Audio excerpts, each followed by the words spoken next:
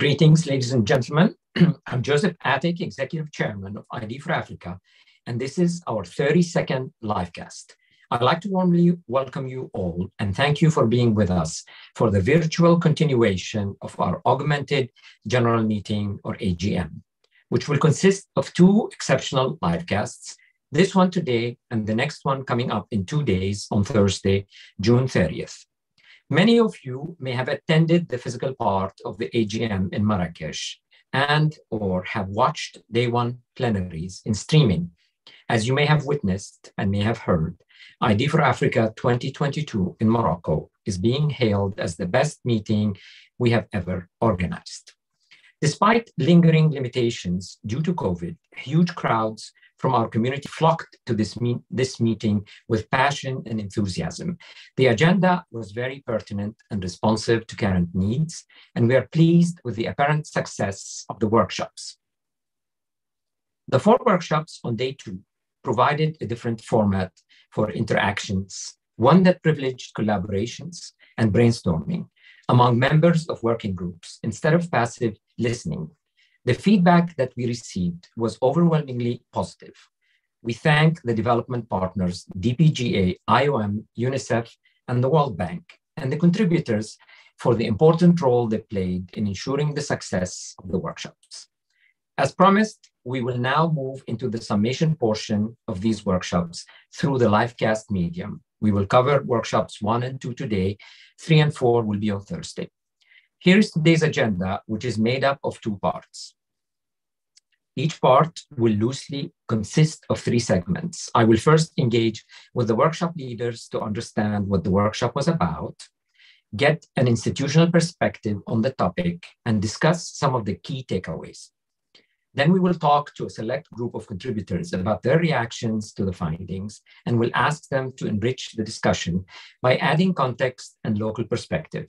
I am keen to give you, the audience, the opportunity to ask questions throughout and to elevate those who have something to add to the community voices. This is your opportunity to be heard, so prepare your questions, comments, and your camera. Just raise your hand and an operator will prepare to elevate you to the panel at the appropriate moment. Before we start, I'd like to thank the Bill and Melinda Gates Foundation for their continued support of the livecasts. We're now ready to start part one of our episode, which we focus on digital public infrastructure. As a reminder, this was the cast of the physical workshop. We invited a small subset to join this live cast. So let us welcome to the stage Liv Nordhaug, co-chair of this workshop, and who's also the Secretariat co-lead for Digital Public Goods Alliance, Sanjay Jain, who uh, has a long list of impressive affiliations, including chairmanship of MOSIP uh, Technical Board. He's also the co-chair of the W1 workshop. Rosemary Kisembo, Executive Director, National Identification and Registration Authority, NIRA, Uganda. Stephanie de Labriolle, Operations, Communications, and International Relations, Secure Identity Alliance, and OSIA. Yodahe Zemichael, Executive Director, National ID Program, Prime Minister's Office, Ethiopia. Colleen Elliott, Global Digital Identity Strategy Lead from Microsoft, and Mark Straub, CEO of Smile Identity. Thank you all for being with us. We look forward to hearing from you within the different segments. Let us begin segment one. Operator, please prepare the stage. Sanjay and Liv, thank you once, once more for chairing this workshop and also for taking the time to be with us to report on it today. Um, I want to start by just helping the audience reorient, especially those who were not with us at, at the physical workshop. Uh, Liv, what is precisely digital public infrastructure, which is the which is the title of this workshop? Thank you so much, uh, and thank you so much for having uh, having me here, uh, and for having uh, had the opportunity to co-host uh, and co-chair this workshop together with Sanjay. Um, digital public infrastructures are the foundations that uh, can support basic society-wide functions of countries. So they typically include digital identity, civil registration systems, payments platforms, and and um, secure data exchange platforms. Um, so they are often referred to as the rails that other public and private services and innovations uh, can run on top of. Um, so uh, the word digital public infrastructure is often, the term is often used um, interchangeably with digital stacks. So there are many, uh, but they tend to de describe the same.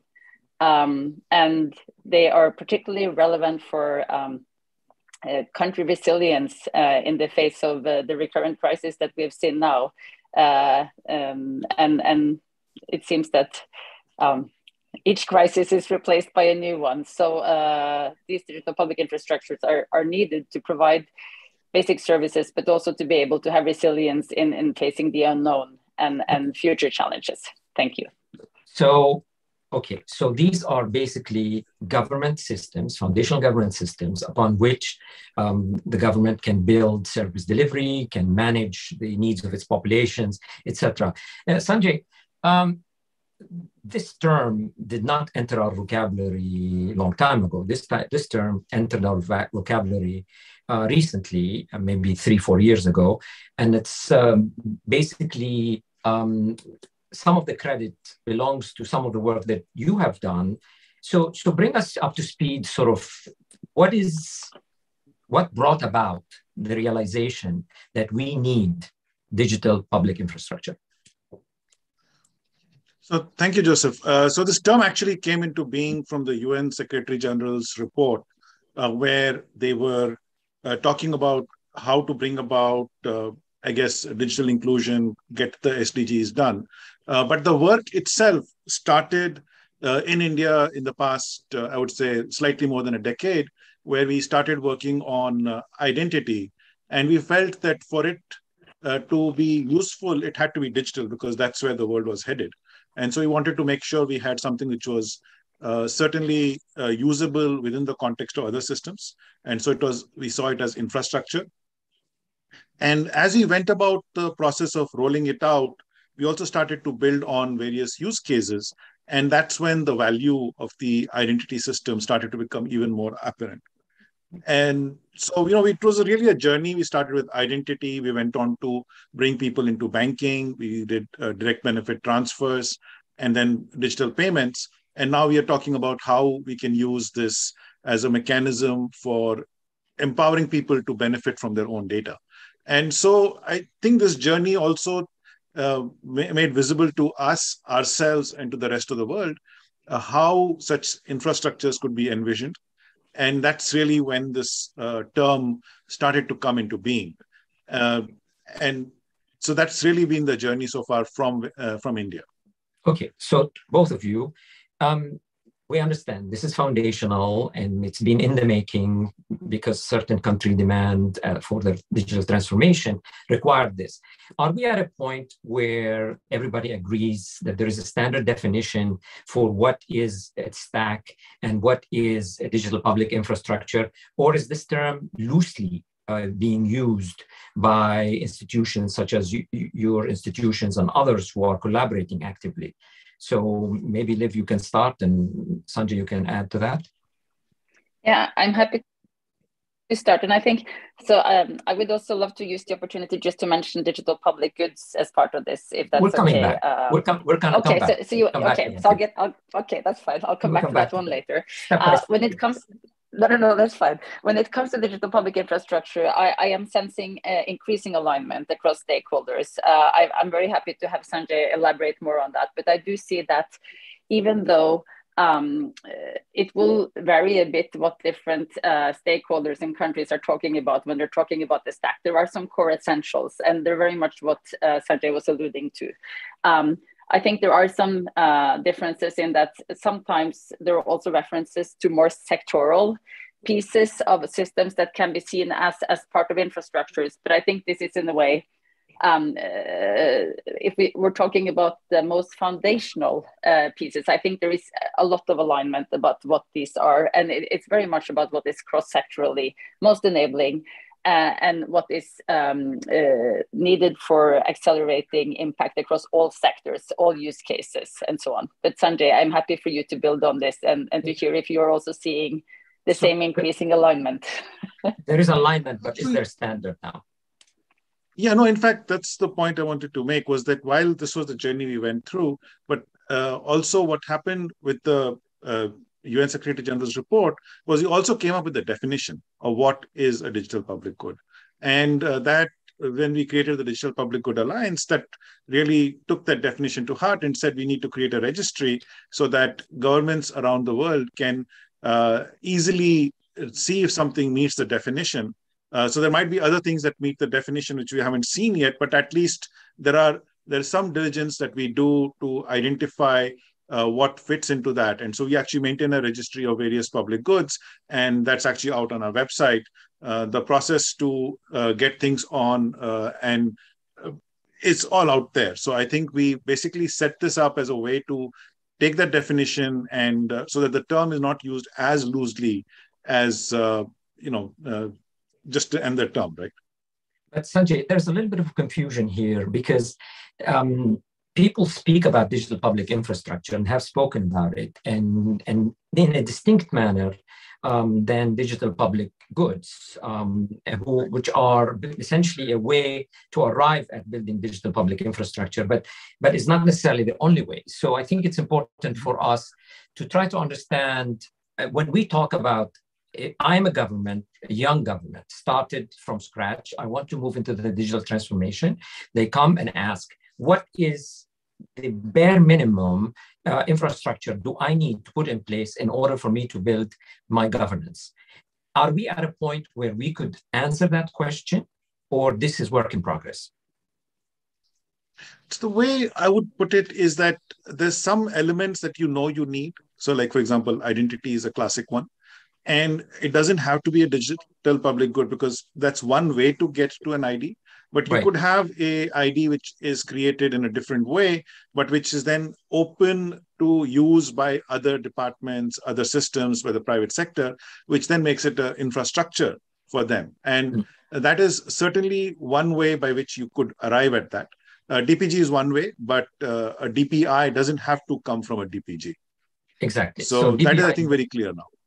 Okay. So liv you want to add to that yeah, C- can I provide an example of that? Just um, yes. so so.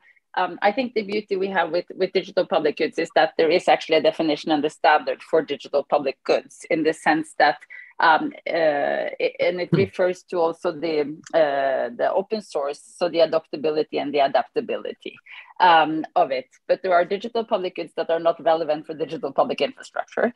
Uh, but there, there, are also digital public infrastructure examples that are not built on digital public goods, as, as Sanjay very well um, uh, referenced. So I think if you use the example of of, of India uh, and of Aadhaar, uh, Aadhaar is a digital public infrastructure. Uh, it would not comply with the definition of a digital public good in the sense of the DPG because it's not open source. But if exactly. countries are looking to build out their um, digital public infrastructure and be inspired uh, and leverage the experiences from Aadhaar, but use an open source system, they can use MOSIP, which is the modular open source identity platform, which is indeed a digital public good because it has been built for uh, for um, uh, as a generically relevant uh, platform that can be freely adopted and adapted by countries as part of building out their infrastructure. So, for instance, the Philippines has deployed uh, MOSIP as part of its digital public infrastructure, which is called PhilSys, as an example. So, so I think that, uh, but um, so I do think that there is increasing um, clarity. Uh, and there are inc- increasingly also digital public goods available for other parts of this stack uh, that that uh, we have been referencing, Joseph, such as, for instance, CRVS systems, uh, X-Road for data exchange, etc. What about payment? Do you see anything promising in payment? So, so in payments, uh, on, on, the digital public goods front, uh, you have examples like Mojaloop, you have examples like OpenG2P uh, and Mifos. Uh, and of course, there are existing proprietary systems or that systems that are not currently open source that could be very promising uh, mm-hmm. as open source alternatives. And I have said frequently that I would love to see an open source version of UPI, okay. which is the Indian that, that, that's, that's a different story. that's a different episode that we'll get to. Um, but that's legitimate. Let me ask you so we're talking about basically a collection of systems that are each foundational that focus on performing specific tasks. Uh, digital identity may permeate across all of them, uh, payment system, um, re registry, uh, perhaps uh, exchange of data uh, like X-Road and, and others. Now, two issues come up come to mind that people keep asking about. How do you link these? What is the pipe mechanism, what's the plumbing that, that is needed to connect all these systems together? Maybe this is a technical question. Sanjay, do, do you want to start us on it? So there are multiple efforts that are happening uh, around this. So for example, uh, under the leadership of uh, DIAL, GIZ, and other agencies, there's an effort around GovStack, which is sort of trying to put together a complete stack for uh, adoption by countries. Uh, and I think there is also an element of country's choice, right? So there are. Uh, it's good to have multiple systems because then you know you try and uh, become uh, better than the others, and countries have a choice in terms of what to adopt. So we don't want to go down to where we have a single system that everybody adopts, but at least we have interoperable systems. We have uh, systems that allow countries to have make the choices that can then fit their local needs uh, because you know, while we say identity, it's different in every country, right? Some things that vary. So, mm-hmm. from that perspective, we want to make sure there is sufficient uh, uh, choice as well as interoperability so that it can happen. So, we don't necessarily want to go down to a single standard, but I do think that we are getting to a point where we will have countries will have options and they will be able to implement them and we will work more and more towards interoperability in uh, different at different levels so that's really the job of standards i would say so we, we need standards in order to allow these systems to interoperate with each other so that you can actually have multiple systems and then you can swap the ones you don't like and you can replace them with something else at the same time being guaranteed that these systems will perform the same type of data um, communications as we would have expected from, from the other modules. So, okay, we understand that um, and what is the body, if the audience wants to know, what is the body that is working on establishing standards for, is it is it DIAL GIZ, is it the GovStack? Because these are different initiatives that, that people are hearing about. Who is setting some of the interoperability standards for the modules of the GovStack? I'm not sure there's a body yet because we have seen different parts of so for example lots of standards are really at a much micro level. So for example we look at uh, uh, standards around say the id document. We look at standards mm-hmm. around biometrics devices and uh, even biometric data formats. So far i think standards have operated at that level. And i think there is uh, some conversations globally around operating at a next higher level. And that's something which we are uh, keen to make it happen. Okay.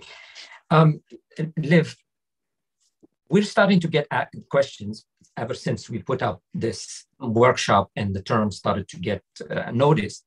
Um, some of the governments are asking the question institutionally how do you manage the institutional arrangement for digital public infrastructure?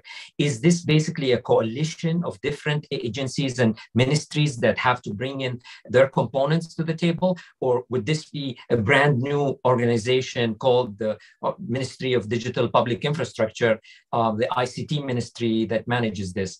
How have you seen or how do you position yourself relative to the institutional arrangements for digital public infrastructure? So I interpret your question as being related to how this happens at the country level. Is that the correct exactly, understanding? Exactly, yeah. exactly. Countries want to adopt. They, yeah. they, they are beyond identity. They believe identity in context. So what do I do? Yeah. So, so first of all, um, I will be uh, the first to admit that I know that there are better uh, there are um, people in the audience that are very well placed to answer this at the more uh, detailed level, including from the World Bank. I would say though that I think what is crucial is to go go beyond an individual sector approach, and that has been one of the some of the challenges we have seen is that uh, you've had sectors that have been trying to take on some of the broader horizontal digital public infrastructure channel uh, challenges so that you've had you know the health sector trying to build out identity systems or similar in in food security for instance or or, or from from um, uh, uh, those kind of angles. And I think the challenge of, of starting from the sector instead of having a whole government approach is that you miss out on the interoperabilities and opportunities to leverage a common uh, in, um, uh, infrastructure very easily. So I think this needs to be a whole government approach. It needs to be anchored at the highest level of government, meaning that you do need to have head of state uh, um, strong backing from this from the top uh, and, and some process of ensuring that there is strong coordination uh, uh, among a number of relevant ministries, including most um, the sectors that are most relevant uh, in the use cases on top of the infrastructure, but also, you know, the Ministry of Finance and also, uh, you know, the structures that are funding this to happen. But I do know that there is a very strong knowledge on this among uh, participants. I would also encourage you to tap into that vast knowledge. Me, but that is me, my my initial take to answer your question. Okay. I mean, Sanjay, if you have anything to add, in the meantime, I'll call upon a lifeline. Uh, anybody from the World Bank wants to join and, and, and help us understand the institutional arrangement and also what are the demand drivers. So please raise your hand and we'll bring you up to the stage. So Sanjay, what do you think the institutional arrangement should be? I, that's the part on which we have the least number of views. Uh, rather, we have the most number of views, and as most of we kind of stay away from that. But uh, I do think that uh, yeah, I mean, there are better people than uh, me to talk about it. I can talk about our experience in India, but that's not applicable everywhere else. Okay, in India, how how is it working? So in India, we ended up with the ID system being uh, initially a separate entity completely from the rest of it because we envisioned it as a, foundational ID and being too close to one ministry would prevent its adoption in others. And so we actually ended up being completely separate. Uh, and but more recently, it's uh, been uh, uh it's got into a reporting structure under the Ministry of uh, Electronics and Information Technology. So there is a more vertical place for it than a horizontal. Uh, but then the individual DBT programs are under different ministries.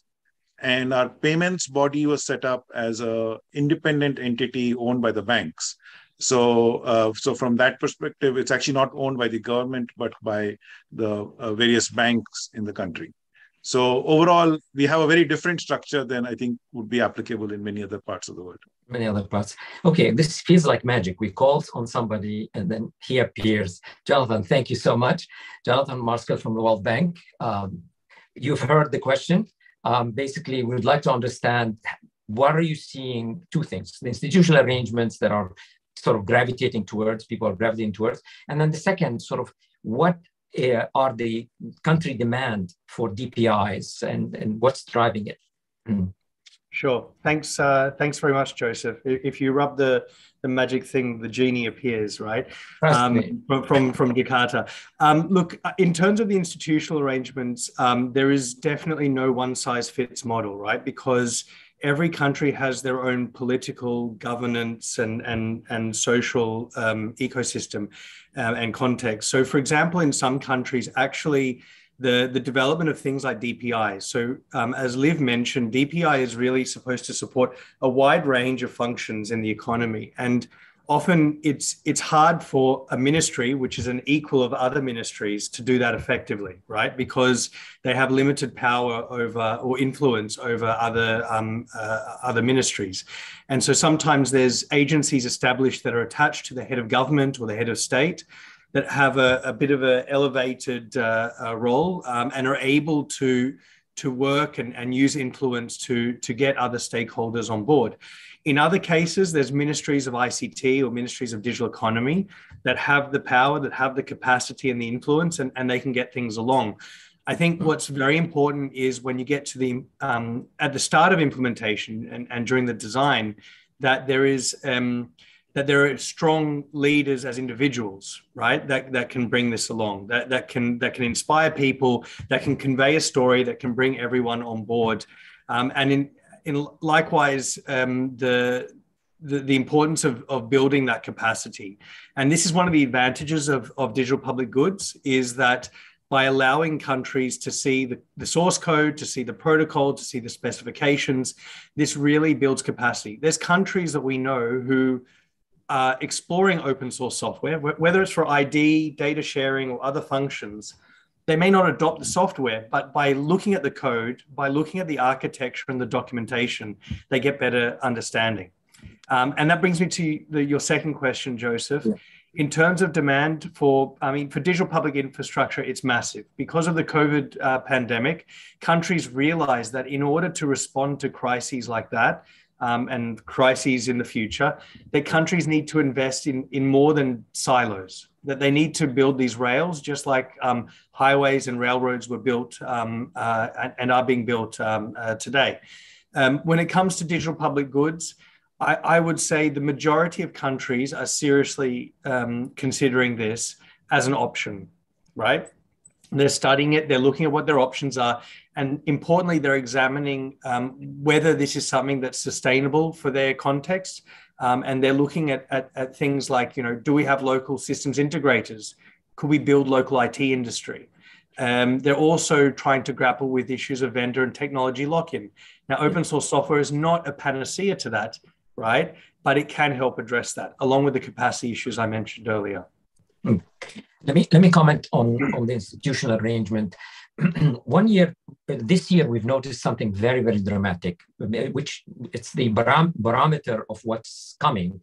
Um, this year, the number of ministers who are the ministers of digital transformation significantly exceeded the ministers of interior. Usually, we used to have at the annual meeting, the minister of interior would show up and, and now you're seeing a major shift, which is the digital transformation ministries are sending not only large number of delegates to attend, but also the senior leadership is coming in and saying, you know, um, DPI is what it is about. Identity fits in context. So 100% in agreement with you that, that we are right on in, in, in saying that digital transformation, which is something that every country in the world must be pondering about right now, not just because of pandemics and war and crises and all of that, just because of efficiency and, and, and business practices changes that you have to do.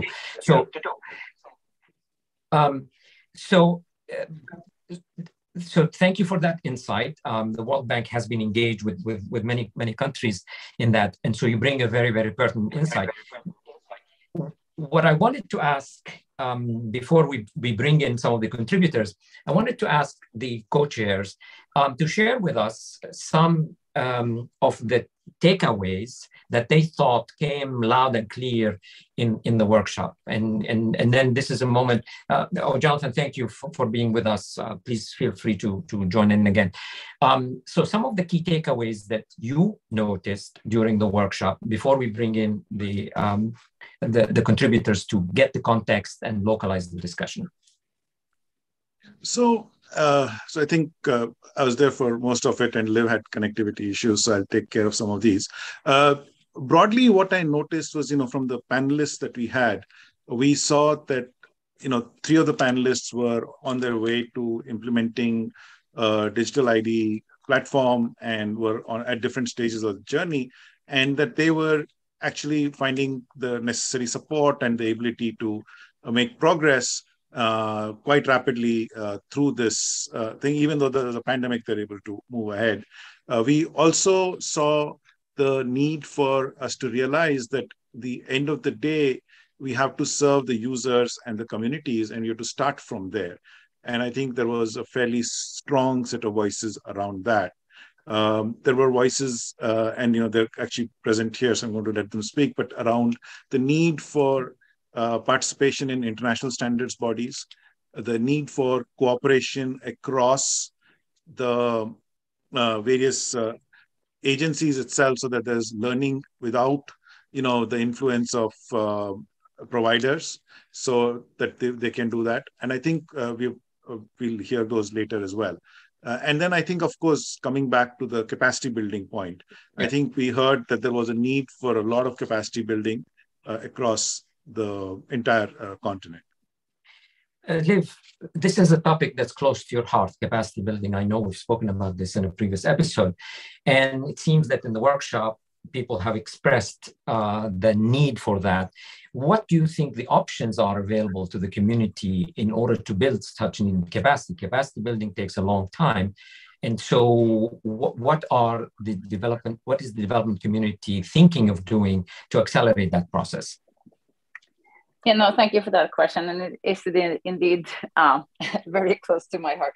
Um, I will I think we can say for now that there's an evolving ecosystem and, and a really growing awareness among many significant uh, international development donors also uh, around this, which I'm extremely happy about.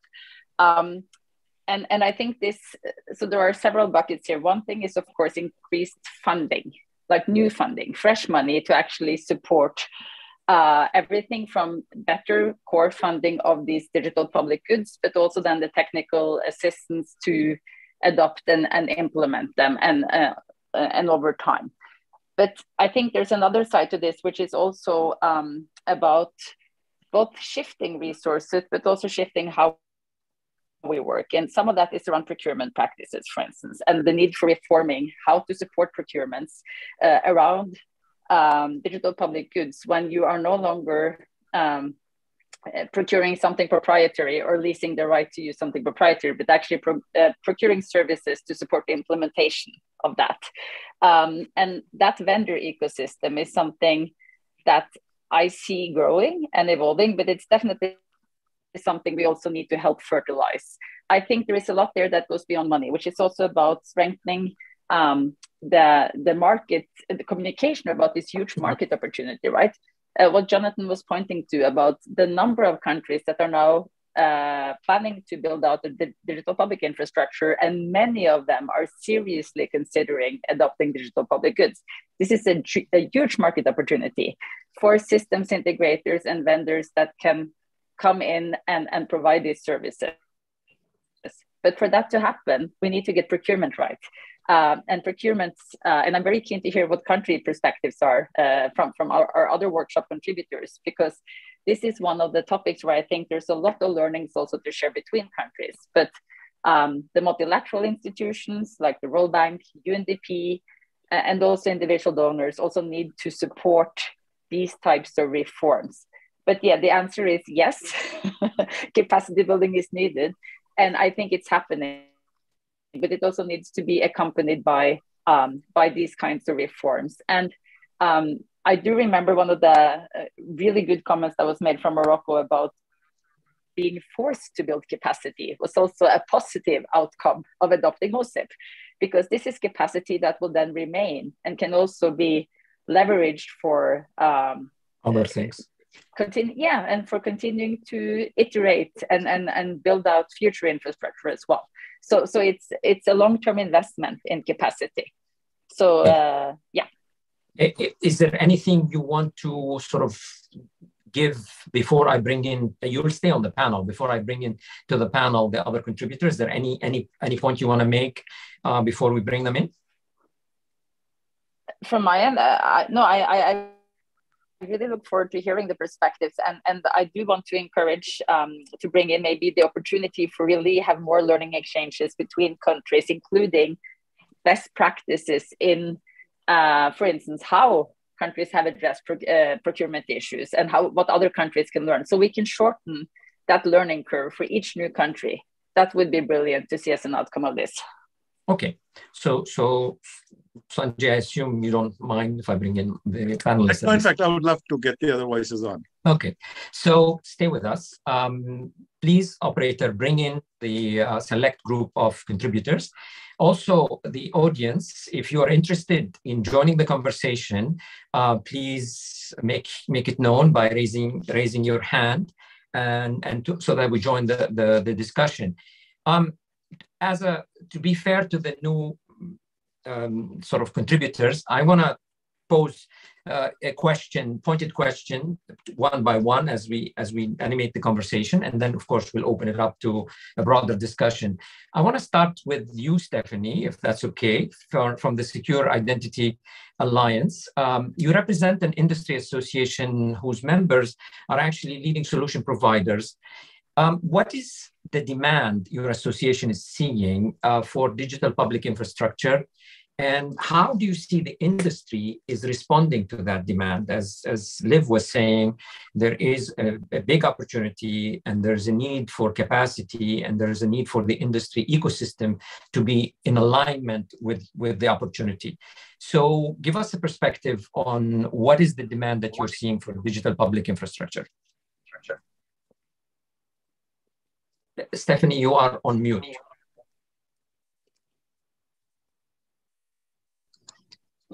Thank you, Joseph. Good afternoon. Uh, Joseph, I'm sorry to insist, but we are not just an industry association, as you know. And uh, I really want to pass this message because we, we do have government and intergovernmental agency actively contributing to our work. So when we publish a report, if you look at the references, you will see that we have a lot of government input. So that is really important um, because this is the whole purpose of SIA to be a you know, um, government industry platform for the exchange of best practices. You know, but to your governance board, your governance board has four industries on it. That's why I kind of felt mm. maybe you should enlarge it to bring in government as well. Is that in the in the work? We we do have today uh, 15, uh, but 15 sorry, in 20, Can you hear me? Can you hear me? Yes, we can hear. Sorry. We can hear. Sorry. We have about 20 uh, government who are affiliated member to the SIA, actively participating on a monthly basis in our work group meetings. Right, but so how many of them saying, sit on your board of governance? How many of them are on your board of governance? They're that's affiliated the members, so they're, they're part of advisory committees, which are advising yes, the working group, and they participate, you know, invited to our general meetings and something new since May, because as you know, I've mentioned it to you, Joseph, we have transformed the Secure Identity Alliance uh, in the last few months and uh, registered the association in Brussels. Uh, okay. So now we are a truly international association and we have governments invited to our board meeting. So this okay. is really a partnership between uh, government and industry to be able to really uh, discuss and share best practices, which we've which we have always done but this time we are not doing it officially, if I if I may say. Okay. So, so what yes, I mean, uh, that you're seeing? What is the demand uh, from governments that you're seeing I mean, for digital public uh, infrastructure? Uh, th there is a strong demand. Huh? I mean, government wants to avoid uh, dependence on uh, you know perpetual licensing for proprietary solution. Mm-hmm. Um, that's the sure. And with uh, digitalization and COVID, this has uh, really accelerated because, as we know, with uh, digitalization, all the silos are falling. So it's not only, uh, you know, it's not only within the foundational ID, but it's also all the sectoral IDs between uh, department, between uh, ministries, between countries. I mean, digital has, in a way, no borders. So, you know, we see a lot of um, challenges and uh, the industry is really trying to help by enabling this uh, meaningful discussion with government because you need to transition from a you know more document uh, based world to a totally uh, legal world. But uh, with that comes a lot of uh, security data privacy protection issues. Um, you have you know a, a lot of um, need for control. Um, oh, sorry to you know to, to sorry i'm getting confused with what i'm saying. So i was saying with all of that comes a lot of uh, challenges. So what we are trying to do is to help government by sharing uh, experience in other countries. And what we before you know from uh, the chair and the co-chair of the workshop. Yes indeed there is no size that fits all.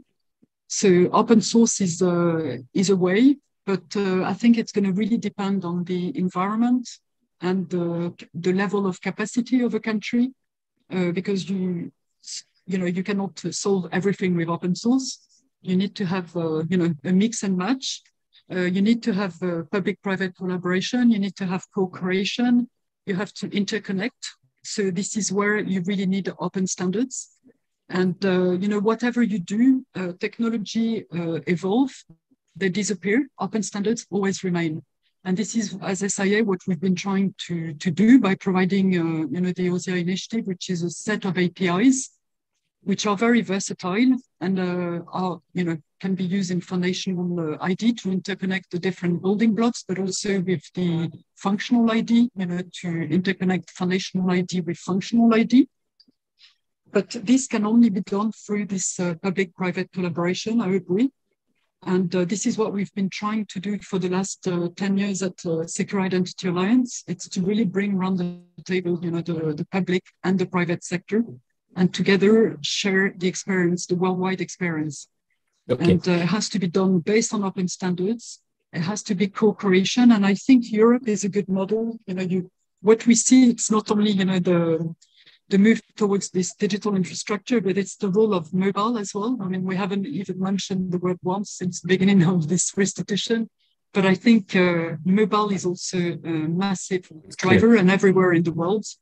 And, uh, you know, so you have to think uh, mobile and, uh, you know, the way you implement mobile solution, do you do it in the cloud, in the mobile? How do you access it? You know, the interface, there's so many issues and also in your infrastructure you need to, to you know you need to mix match. You need to try. I mean some country have a centralized approach other have used federated but now we can see that the user is put really at the center, and with the mobile, this is uh, something you can do very well. So you need to also look at, uh, you know, uh, decentralized uh, type of architecture, self-sovereign ID, and all of that. Um, you know, a government right from the beginning shouldn't say, I'm going to go for this type of infrastructure. I think it's better to start from the use case. What do I want to do? What services do I want to offer my uh, citizen? And from there, you can try different uh, approaches, mix the projects. And the only way you can, uh, you know, have all these project works together, it's through open standards. So this is one thing that we do is really advocate these uh, open standards. Yes, Stephanie, thank you.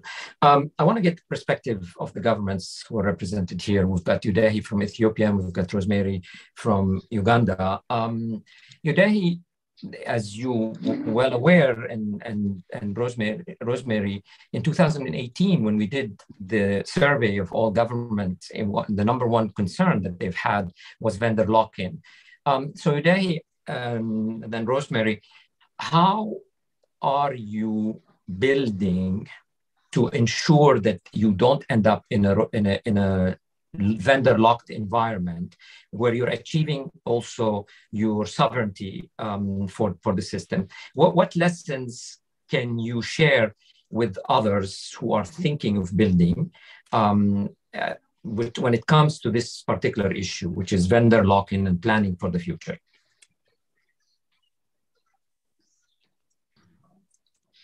Um, Rosemary, or shall I go first? You go ahead, go ahead. Then we come back to Rosemary. We can see the impact of vendor lock-in and also talking about the community. I'll, I'll talk to her about that. So go ahead. Yeah, happy to see everyone uh, and happy to see you again.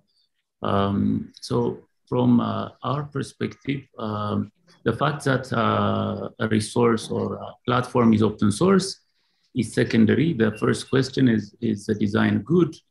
Is the architecture good? Is it fitting? Because uh, free, uh, open source and free software, it's the second uh, criteria. The primary criteria is uh, does it uh, does it meet our business need?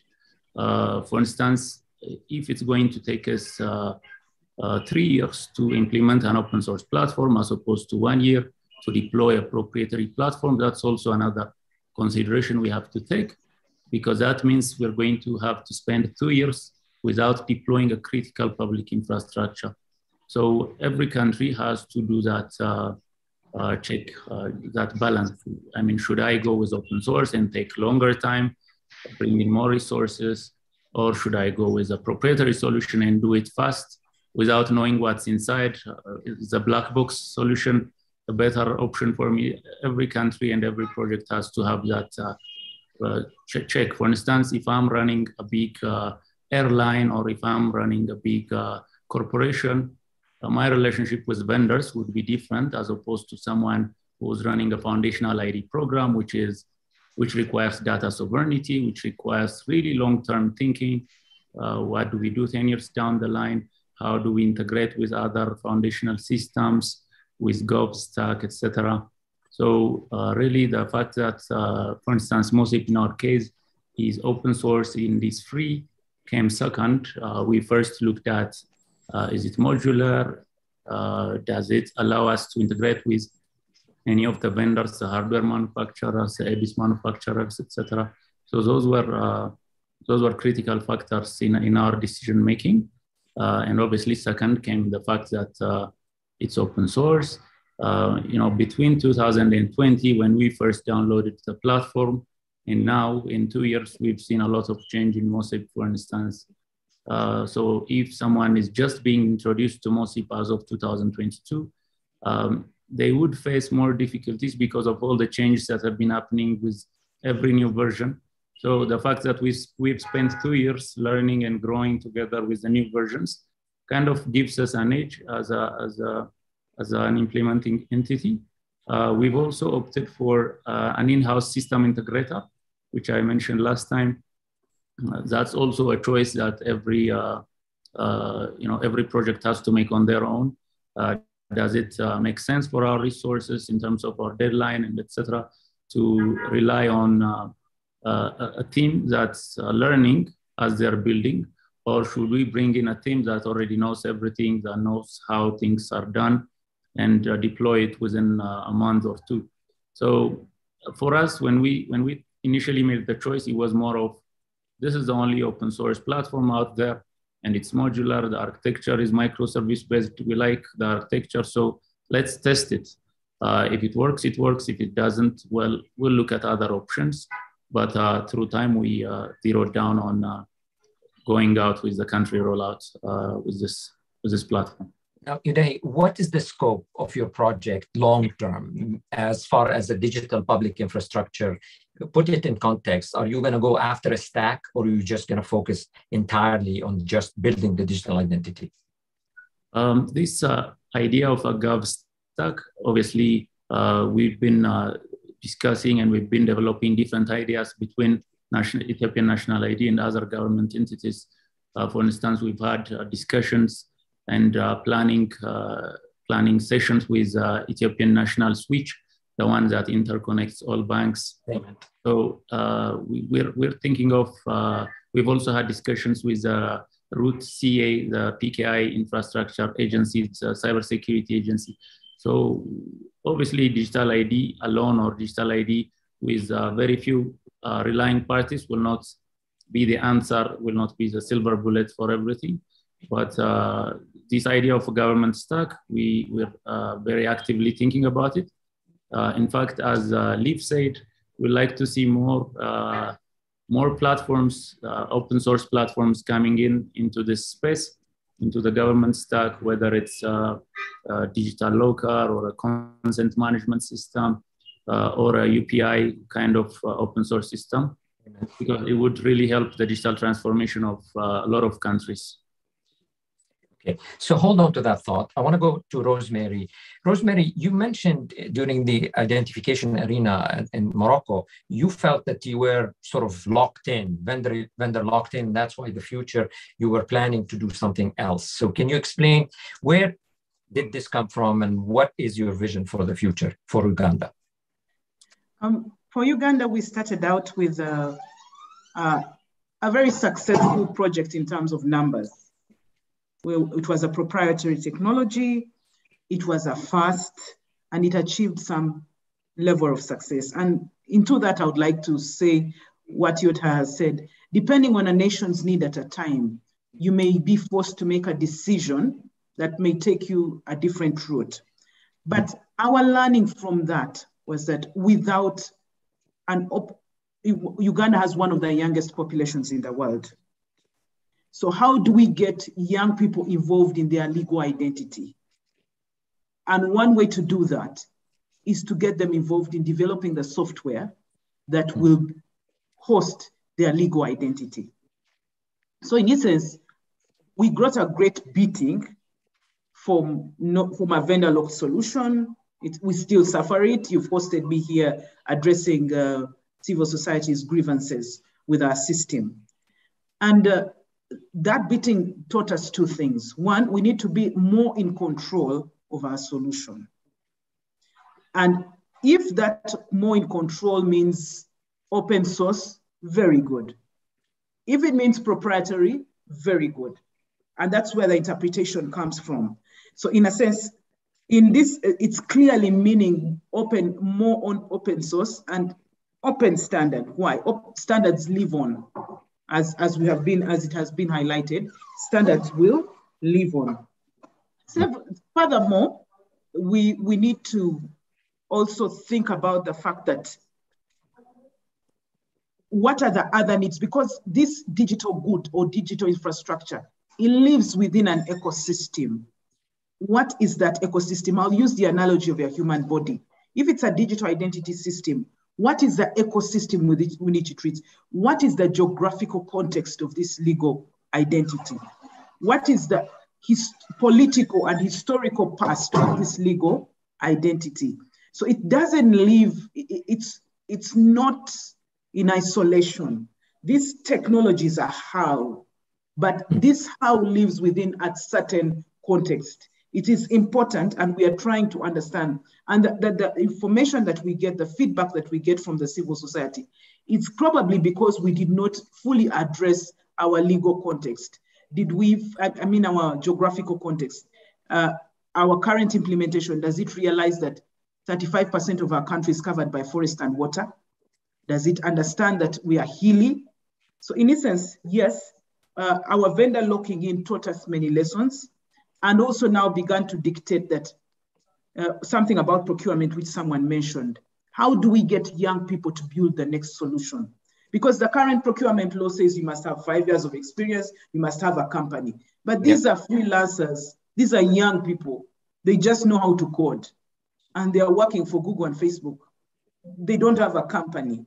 So what uh, government is trying to build an innovation hub where you host such talent and can call on them from time to time because of the simple fact that we it, it's it's it's a learning, it's our context, and also it's within the fact that we need to address our environment as it is now. So also your capacity your capacity. I mean, this is a wonderful way to build capacity. If the government has programs that privilege um, these incubators and, and these young people and get them involved in developing yes. what infrastructure the country needs, this is a wonderful way to build knowledge and and uh, and um, and capacity. Yes. So in our this in this particular, we are at we're at the threshold of acquiring a new system we mm. stumbled into MOSIP. As a result, it has caused us to also review OpenCRVS and OSIA. So we have done a, map, a mapping. We've picked our act, our ROPA act and said, look, this is our act. What does OSIA answer? What does MOSIP answer? What does OpenCRVS answer? How easy is it to bring all these frameworks into one as a solution? Right. Is it plausible? And then on top of that, how easy is this to get, get this done within eight months? Because we need, uh, by, by some legal provisions, we need to start this exercise in the next seven, eight months.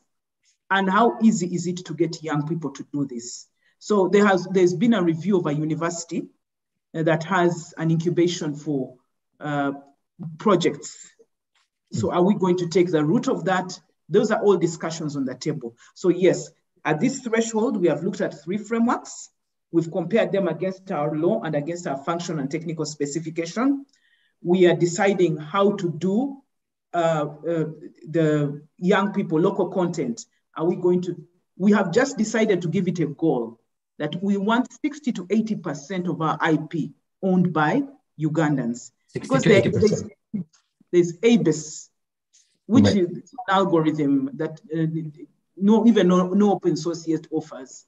PKI, right. there's some of those that are still proprietary, but we are saying at least let's go 60 to 80% okay. in, in terms of proprietary. And, and yeah, thank okay.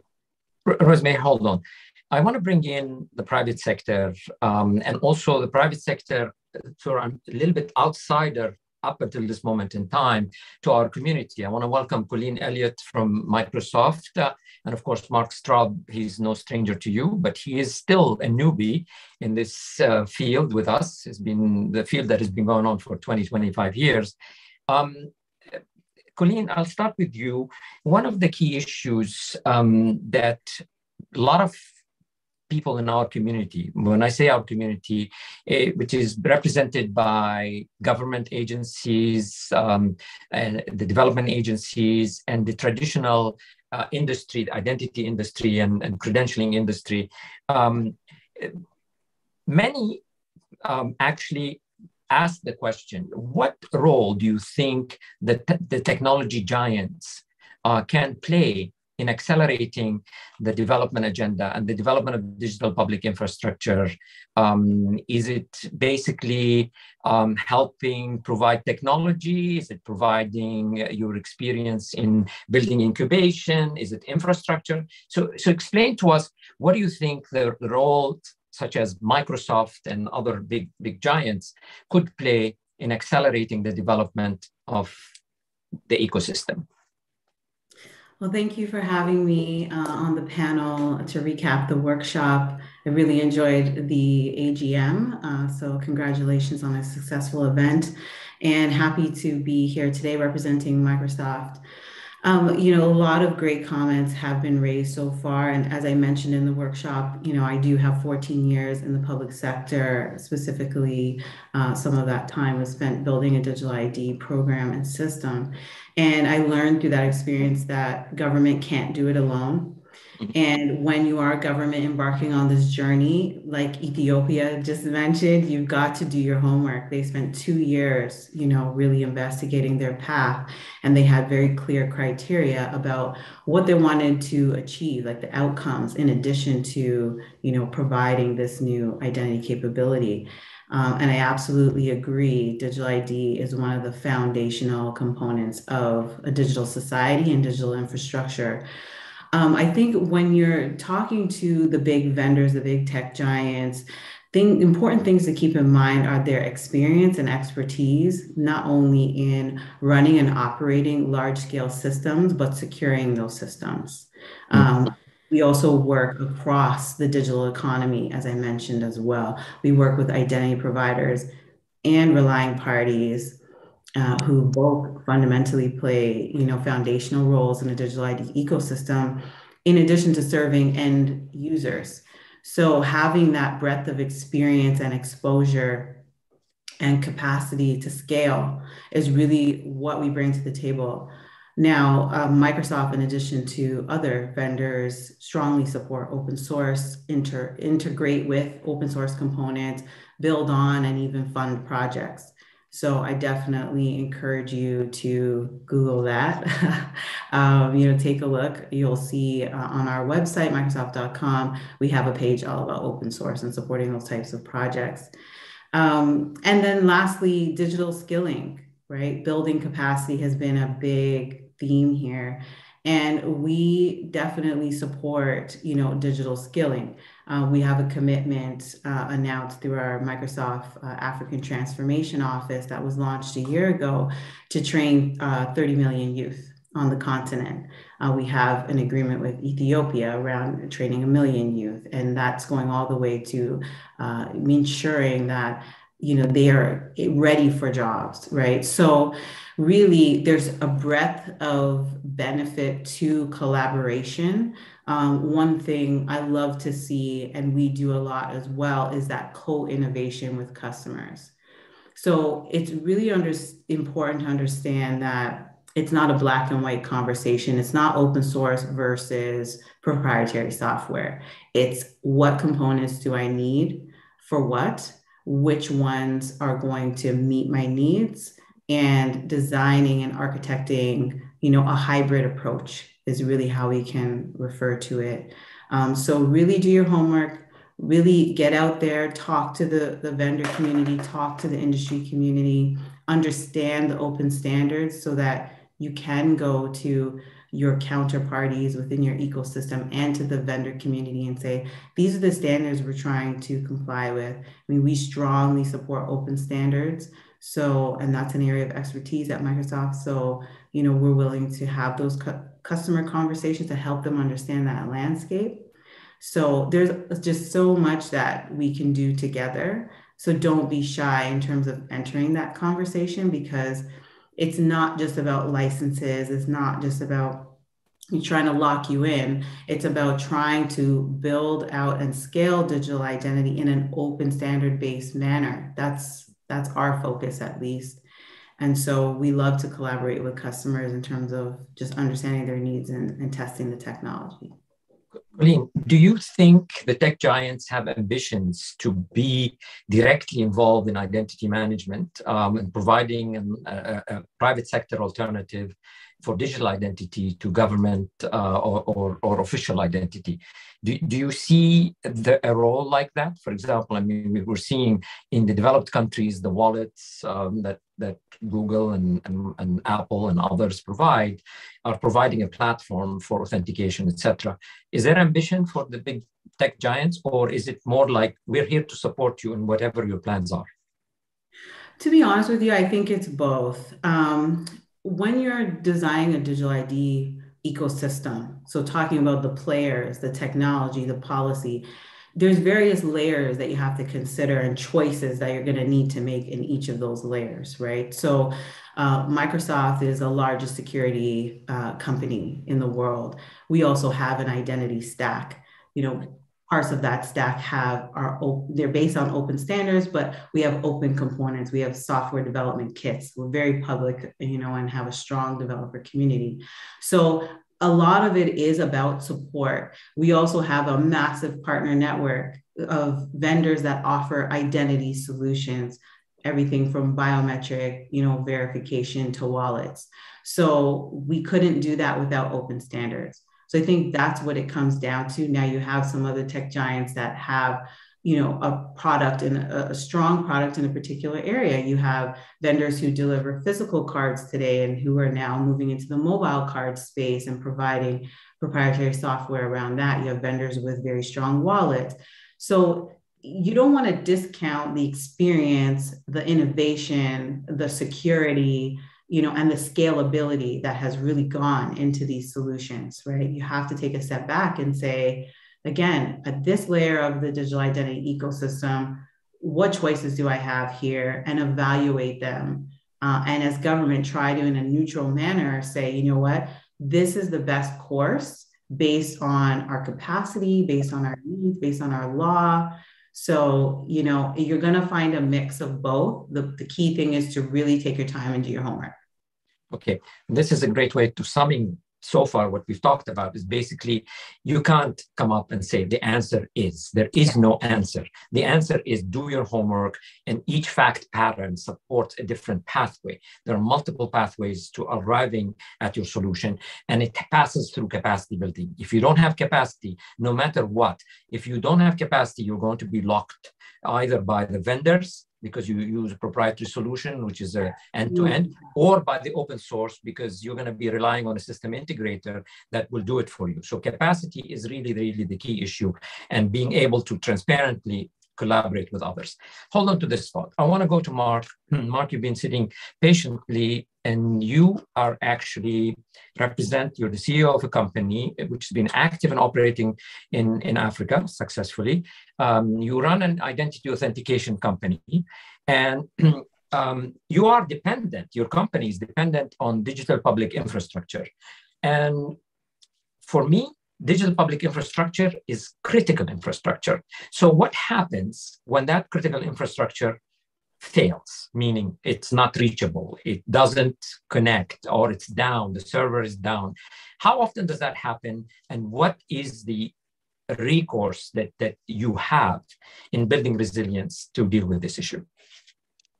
Yeah, thank you, Dr. Atick. Um, so yes, I am. Uh, I'm the CEO of Smile Identity, and we represent really private industry that is reliant on these ID authorities. And so this is critical infrastructure, obviously, for the citizens of these countries. It's also critical infrastructure for our business and all the relying parties that we work with as part of this business. And, and what we have seen ultimately is that the largest challenge or the most significant single challenge to, uh, to relying on public infrastructure is sometimes uh, downtime. Uh, and I thought I'd just share this very quickly this graph that we put together that just kind of a, a, sample of an ID report that we're putting out in a couple of weeks. But this is um, a screenshot. Just we took and aggregated all the data we've seen over the last uh, 30 days or so. We did this uh, last month before the Moroccan conference. And we saw that there was on average 5% downtime across the board, across ID authorities from country to country. And we operate in half dozen countries across Africa. And what happens is when when we can't query a system, when it's down or when it's uh, returning um, bad messages because of some failure in some code base, uh, ultimately it's not just um, it's not just sort of our business that's impacted, but if you think about this, it's a farmer that's not getting a loan. It's a community that's trying to buy maybe a solar system and can't access the database it needs to to register themselves. So that could be a school or a small business or a home. Uh, it's somebody who's trying to sign up for a bank account and can't get access to that bank account. It could be somebody that's trying to send money uh, via remittance product. And when I say it's somebody, it's not just one person when this stuff goes down, it's 20,000, 50,000, 100,000 people in a given day that get locked out. And so if you think about this from, from a sort of critical infrastructure standpoint, you wouldn't build a bridge and tolerate that 5% of the time when cars drive across it, they crash, right? That would just be unacceptable. Well, now that we're building this infrastructure in, in the digital space, in the virtual space, we need to think with the same, the same standards of, of uptime and reliability. And, and I guess I just wanted to add one comment to the folks that were talking about um, the demand side of the equation. I thought there was a question from somebody what about what do we do with countries that don't have the infrastructure or they're further behind? I know obviously the, the participants on this panel, um, Rosemary uh, from Uganda and, and from Ethiopia, I think these countries are further ahead in this journey and they've already made the investment. And I think we're grateful for it. Um, but there are many countries that have not yet have not yet made the investment and may be struggling with this decision. And I, I guess I would reference there's an old movie quote: uh, "If you build it, they will come." Uh, and what I say, what I mean to say is, if you build the digital ID infrastructure, industry will come. Startups will come to your country. Young people in your country will find work with those startups. They will write code. They will become part of digital communities. Banks will show up. Digital uh, financial services companies will show up travel companies will show up, payments and remittance companies will show up. And even the ones that are existing in your country will have the ability to scale beyond their existing infrastructure and onboard thousands more consumers and citizens. So there is demand there, and there is industry that's willing to come and show up in these markets and invest. And digital critical to making that happen. So we're big proponents of this this entire movement. Okay, Wonderful.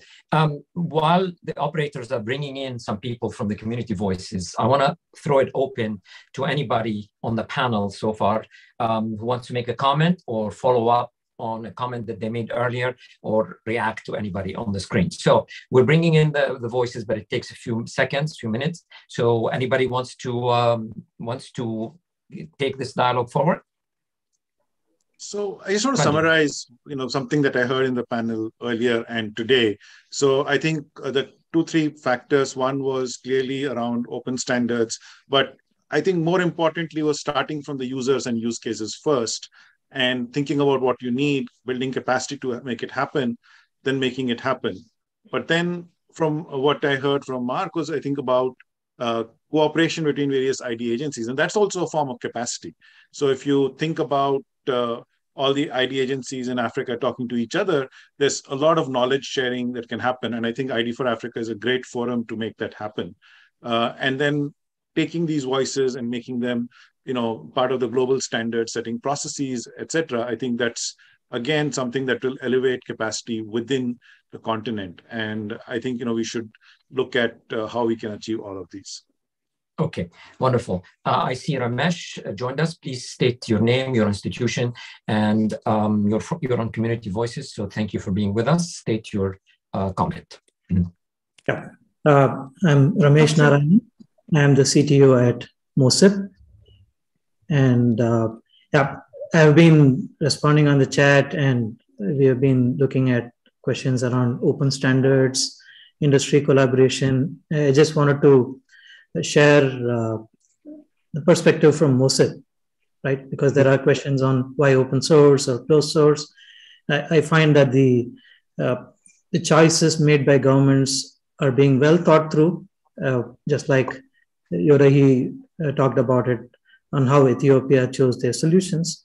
And I believe that the standards conversation that we are part of uh, has been very interesting one. We are one of the first DPGAs to be acknowledged for open standards, but yet we don't keep harking, harking about that in public saying we are a standards body because we understand as we interact with more governments, more use cases, more bodies and working groups, that it's a evolution that's uh, happening and there is a long way to go before we can say, hey, this is a standard which government can actually pick up and start using, right? Uh, it's future ready and they don't have to worry about it. So uh, what we do in MOSIP is bring in the modularity and the ability to plug in as many of these standards or support as many of these as possible, right? And this could come from an implementation in one country following one standard could then be made available in open source readily uh, for another country to adopt. So we are trying to promote as much as possible the use of open standards, but we also acknowledge that these are evolving. Uh, we also come from a different perspective that we are looking at it from the governments and the users and the good ID principles, while industry comes from its own perspective, what they have built and how they can evolve. Right. So, uh, as part of that, I can give you an example that uh, nobody was addressing standards related to interoperability of how biometric devices can be uh, one can be replaced with another. Today, we we just fire a print for a printer. We don't really care about what the printer driver is. But when it came to biometric devices, nobody was thinking about it. So we are working on those missing pieces and trying to make those available. Wherever the industry is addressing uh, standards, like for example, for credentials, there is an effort on, we try to align with that. Wherever there are missing pieces, we try to promote these uh, new initiatives from our side. And all these initiatives, I believe, should be elevated to international standards bodies such as the ITU or ISO or uh, IEEE. And uh, we see that even in uh, our engagements with OSIA and all, there are attempts to make these standards as part of uh, ITU. So we welcome uh, the broad basing and increased participation from many, many people in order to help these standards take, take root appropriately.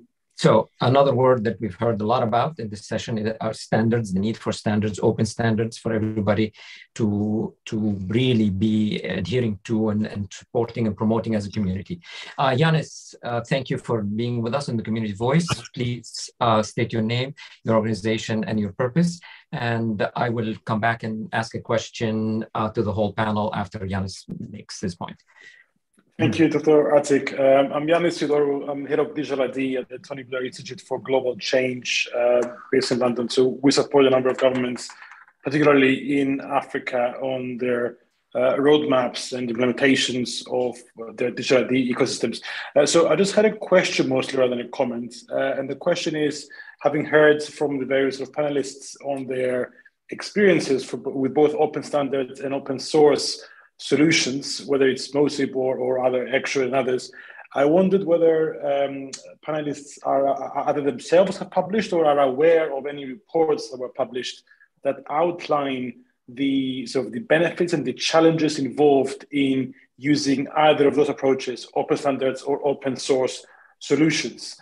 Um, because I think I think the community will benefit from uh, you know seeing and, and hearing and learning from uh, those countries and, and understanding those those risks and challenges and, and how they were addressed, if any.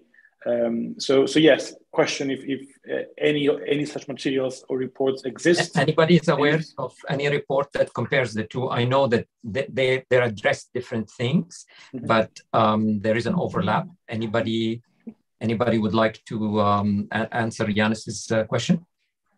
Stephanie. I, I mean, I've, said, I've already uh, spoke with Yanis about that. I really believe we shouldn't oppose the two. I mean, uh, like for instance, you know, OSIA, it's an open standard. And uh, as Ramesh said, you know, uh, hopefully soon recognized by the ITU, uh, it's been developed in open source because we are talking uh, interface level uh, and it was developed in open source. So uh, I, I, think you know open source is uh, is an approach, and uh, there's different way of uh, approaching open source as well. You know the IP rule can be different. I mean uh, in IP um, rules, you know you can have the bazaar. What the lawyers call the bazaar mode. You can have the cathedral mode. You know, there's different IP licenses, approaches to open source as well. So I don't think we should oppose it at all. Uh, you can have, a, I mean, all the vendors that develop proprietary system, they also use open source. Huh? They're proprietary, but there's open source inside the system. So open source is really a, a language, you know, and uh, I don't think there's an opposition. I think open standard is very different. It's making sure that in a digital public infrastructure, every block you use, and there can be a mix match of open source, open, uh, you know, proprietary, off the shelf, uh, developed uh, in-house. The idea is that at the end, all of that needs to work together across, uh, you know, a department, across, uh, you know, ministry, as I said, across borders in some cases, mobile, web, in the cloud, you know, all the and all of that has to work together. So the way you do that, it's through interoperability, and interoperability can only be done through uh, open standards. Because as we said, open standards remain, technology evolved. Okay, okay. Um, so before I get to the next um, community voice, um, there is one issue that which seems to recur and actually came up at the annual meeting several times, people asking that. And, and this is unlike the Greenfield initiatives, which we, we featured Ethiopia and we featured Morocco and, and, and Philippines, the countries that are having to make a transformation where they've, they've had a system. Uh, Uganda is a perfect example. Rosemary, you have a system in place which is very functional and it has um, uh, enrolled people in, in the database. And in the next two years, you're thinking of going out there and, and redoing or expanding the coverage of your ID system. The question that people seem to be asking, and here today they specifically asked you, um, is basically, does that mean you have to redo as you transition towards a more open system? Does that mean you're going to have to redo the, the database of uh, records that you have? Or do you think there is a way that you have total openness on what's already existing? Thank you very much, Dr. Atick, once again. Um, before I answer your question, let me answer two questions. ID4D reports are a good place to go for some publication. They have a summary of challenges and experiences of each country. Um, and one for Liberia. Liberia, my view is start, start somewhere. Mm. And I, from that, I would say Uganda's example we realized that we didn't have enough internet penetration at the, at the time. We made a decision for an offline system, which was carried in a box. Now internet penetration is better. So we are not going for an offline, we are going for an online with an offline capability. So don't be deject, just start where you are, right where you are, within your circumstances. Whether if there's little power, get batteries, you go get solar, but start somewhere. So next, uh, I'll now go to your question on, yes. do we lose everything? No, we shall not lose everything. We are going to migrate that data. And that is where I would like to also highlight. The most important thing about any system is the data. That data is the gold. The workflows, the data are the gold. The, the information in the workflows and the data is the gold. So our focus is on migrating this seamlessly to the next system. The other part is how. Today we might use open source, open standard. Tomorrow we might change our minds and say no, proprietary is better, but the data, my fingerprints will remain my fingerprints. My face will remain my face and it's securing that and moving it securely that is central to us. So we are going to migrate the data and build upon it. And still to Liberia, one step at a time. The more you use data, the cleaner it becomes every iteration of automation gets you better to a better place. There is no big bang one time it's the best. You will your learning will deliver your next best result. Okay, okay, great. We we did have uh, a community voice operator. What happened to the, the individual, which was on the screen? Did we lose his connection? Um, he's rejoining right now, Dr. Atick. Just he's, he's rejoining. Okay, okay. Um, Mohammed Bashir Aliyu? Yeah. Uh, yeah please yeah. State, state your name, your function, and uh, your purpose. Yeah, Mohammed Bashir Ali Aziz, uh, CEO ICX Solutions. We've consulted for the NIMC here in Nigeria. and uh, we're also delving into the authentication business. So what I wanted to contribute is having seen the journey of the NIMC in Nigeria, uh, it's very important for ID authorities to ensure that the whole idea of having a high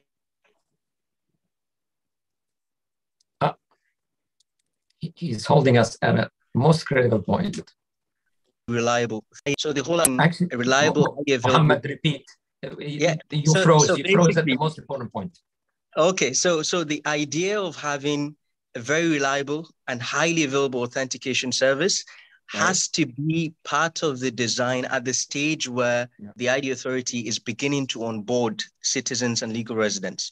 Because what we've seen is, in Nigeria is the authentication service became some sort of a retrofit.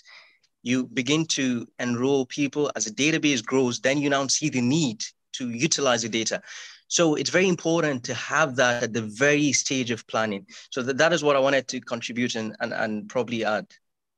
But well, I mean, you and Mark may may may have a have a point of overlap here, and I would ask, um, and of course, uh, Sanjay uh, Aadhaar is doing I don't know billions of transactions uh, so far. The question is, how do you build high availability? I mean, this is not brain science; it has been done by other systems.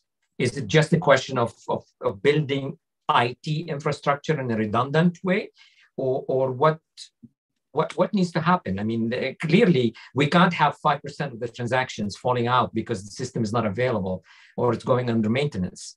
Um, so, so anybody. Me, yeah, let me take that. So when, when we did Aadhaar, uh, and Aadhaar currently is doing about a billion transactions a month. A month, uh, yeah. And uh, at its peak, we are actually doing about uh, two to two and a half times that number uh, because mm, I mean, there were some changes because law when the numbers came down. But at peak, we were doing uh, about two and a half to three billion transactions a month. Now, when we built the system, that was one of the design choices that we made was to make sure that authentication was very. Uh, so, in some sense, enrollment is a more complex problem because you're looking for uniqueness and deduplication. But in authentication, it's a one is to one match. And it is, you know, what in computer science you would call is a trivially parallelizable problem. Yeah. And so that meant that if you can get your infrastructure right, you can actually build a very uh, scalable solution. And which is what we did. It, I think to do uh, that many transactions, we planned for uh, just 10 servers, you know, back in 2010 uh, would uh, suffice to do that. And then we replicated it so it was highly available. But this another design choice, which is coming up today, is a little more, you know, the decentralized ID conversation that has been going on, uh, plus the uh, possibility of smart cards, etc. All of those without a central infrastructure also allow you that scalability. But then you don't get to be able to brag about those numbers because you never see them, right? But uh, that I would say is another option is to find a way to do it that it doesn't hit a central server. And I think uh, those are your design choices, uh, depending on what you see in terms of the network, what you see in terms of uh, how you distribute the ID, and so on. So I would uh, say that today there's a lot more options available. Yeah, in fact, one of the things that we are hearing at ID for Africa is that many countries are considering a different strategy of, of verification, where they maintain in a centralized way the enrollment and the duplication and the attestation. Basically, the idea that if a ministry that's in a sector, let's say health, wants to know does this person exist and is this person unique, then the central uh, agency of identity management will respond by saying yes, this person exists, they are unique, etc. From that point in time, the sector which is health, or finance, or immigration, whatever, can build their own distributed um, or alternative decentralized authentication system, such that each time this person is asking for a service from that sector, it is the sector that ends up verifying using even biometrics or other uh, PIN codes or smart cards or QR codes that have nothing to do with what was used for the enrollment. And so this way you distribute the uh,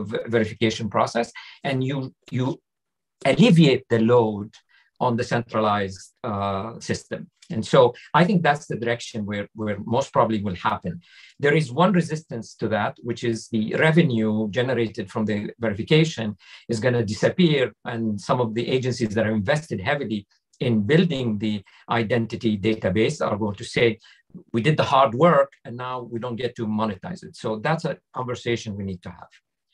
Okay, um, I think we are running out of time. So I have time um, just to hear uh, one last closing um, comments. Um, maybe we can hear it from the chair. Liv, do you have anything to close uh, this overview with? Um, sorry to put you on the spot, but uh, I think you, you're, you're, you're welcome to give us an overview. thank you, and I want to be put on the spot, so thank you for that. Um, I, I do have a comment, and I do think um, I do want to correct any kind of interpretation that there's a choice between either going open source or proprietary. And I think um, the, um, the example that uh, with Aadhaar is a good one. Aadhaar is not an open source initiative. Aadhaar is not open source at all, but it's the government of India that is in control of how Aadhaar has been built. And okay. I think that's the essence of the question here. Sovereign. Um, yes, it's sovereign. And India had the capacity to build its own system. Many of the countries that are looking to build out their DPI today, they do not have that capacity. Let's just acknowledge that. Um, and the question for them is if they want to protect their sovereignty, what to do? But I do think that that's a point we shouldn't miss. It's not about like either you do open source or proprietary. And some countries are even implementing open, I mean, many are implementing open source as proprietary solutions, but they still maintain that sovereignty. So it's not either or, and I think it's kind of oversimplifying something. The other point I just want to make, that make at the ending is capacity. While uh, a perception of a lack of capacity is indeed a challenge if you're considering adopting an open source solution to build out your DPI it is a tremendous challenge if you also want to do a procurement of a proprietary system as part of your DPI, because getting those specifications right, that's not an easy feature. And the challenge if you get the procurement of a proprietary system wrong, and you don't have the specific, like the uh, uh, contract terms that allows you to make local adaptations uh, built into the contract in a good way, and something that gives you that agility and flexibility no one can anticipate exactly how their journey is going to be uh, when planning this. Yeah. So there is something about um, capacity is required regardless. And there are many, many examples of failed proprietary uh, or leases of proprietary systems as well. So I don't think we should say that you only need capacity if you're adopting an open source system that does not mean that it's not complicated and it's not a quick fix. And I completely agree that, you know, for most countries, they will do both. But uh, I, I, do think it's an important point to make, particularly where sovereignty is most needed, that even when uh, when uh, when going the proprietary route, I think it's really important that countries um, try to have procurements that don't lock them in for many, many decades, even sometimes, to poor mm. systems uh, that do not meet their local needs. I just want to end with that. Thank you. Thank you. Thank you. Um, once again, thank you to the chairs, the co-chairs, and the contributors, those who came with us today, but also those who participated in the workshop. Uh, as you can see, this is not a prescriptive uh, event. This is about dialogue, communication, allowing people to understand their options and choices and share experiences so we can learn from each other. Um, we intend to continue this type of um, platform of um, knowledge development and we'll bring them to you um, as, as they become available. Um, now we've reached the end of this part. So thank you, operator. Please prepare the next panel. Um, so I'll say goodbye to, to those of you who joined us.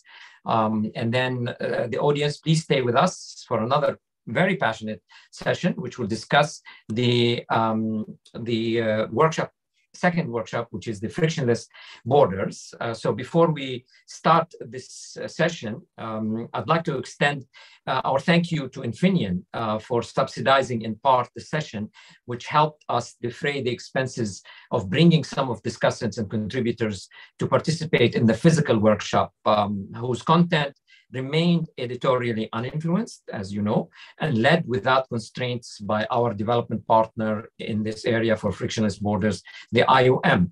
So we're now ready to start part two for episode. And so this, uh, please operator, show the cast of the full physical workshop. Um, so this is the full cast. This was chaired by the IOM. And uh, we've had a whole ensemble of experts, discussants, and, and, and contributors. Uh, we invited a small subset to this live cast. Um, so let us welcome to the stage. Operator, please um, bring to the stage Damien Thoriot, the head of Immigration and Border Management Division of IOM, Alvina Sam Joan, Senior IBM Regional Thematic Specialist for West Africa IOM, Alexander Imbenzi, Director General, Directorate of Immigration Services, Kenya, Rosina Senona, Director, Department of Home Affairs in South Africa, Saadou Boubacar Cissé, who's the Police Commissioner, Ministry of Interior, Niger. Um, so, operator, uh, yes. Thank you, everyone, for being with us. I have a feeling we've had some delay in bringing people on, but now we see some. Um, I look forward to engaging with each one of you within the different uh, segments.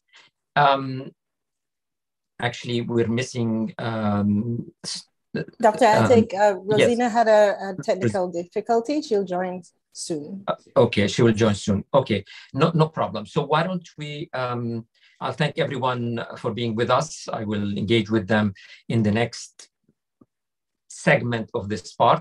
But first, uh, operator, please prepare the segment number one, where I'd like to talk to IOM representatives um, about this workshop. So Damien and Alvina, thank you so much once again. Um, I've heard a lot of good things about the, the, the workshop. I want to start by asking you, Damien, to remind the audience what the workshop was about.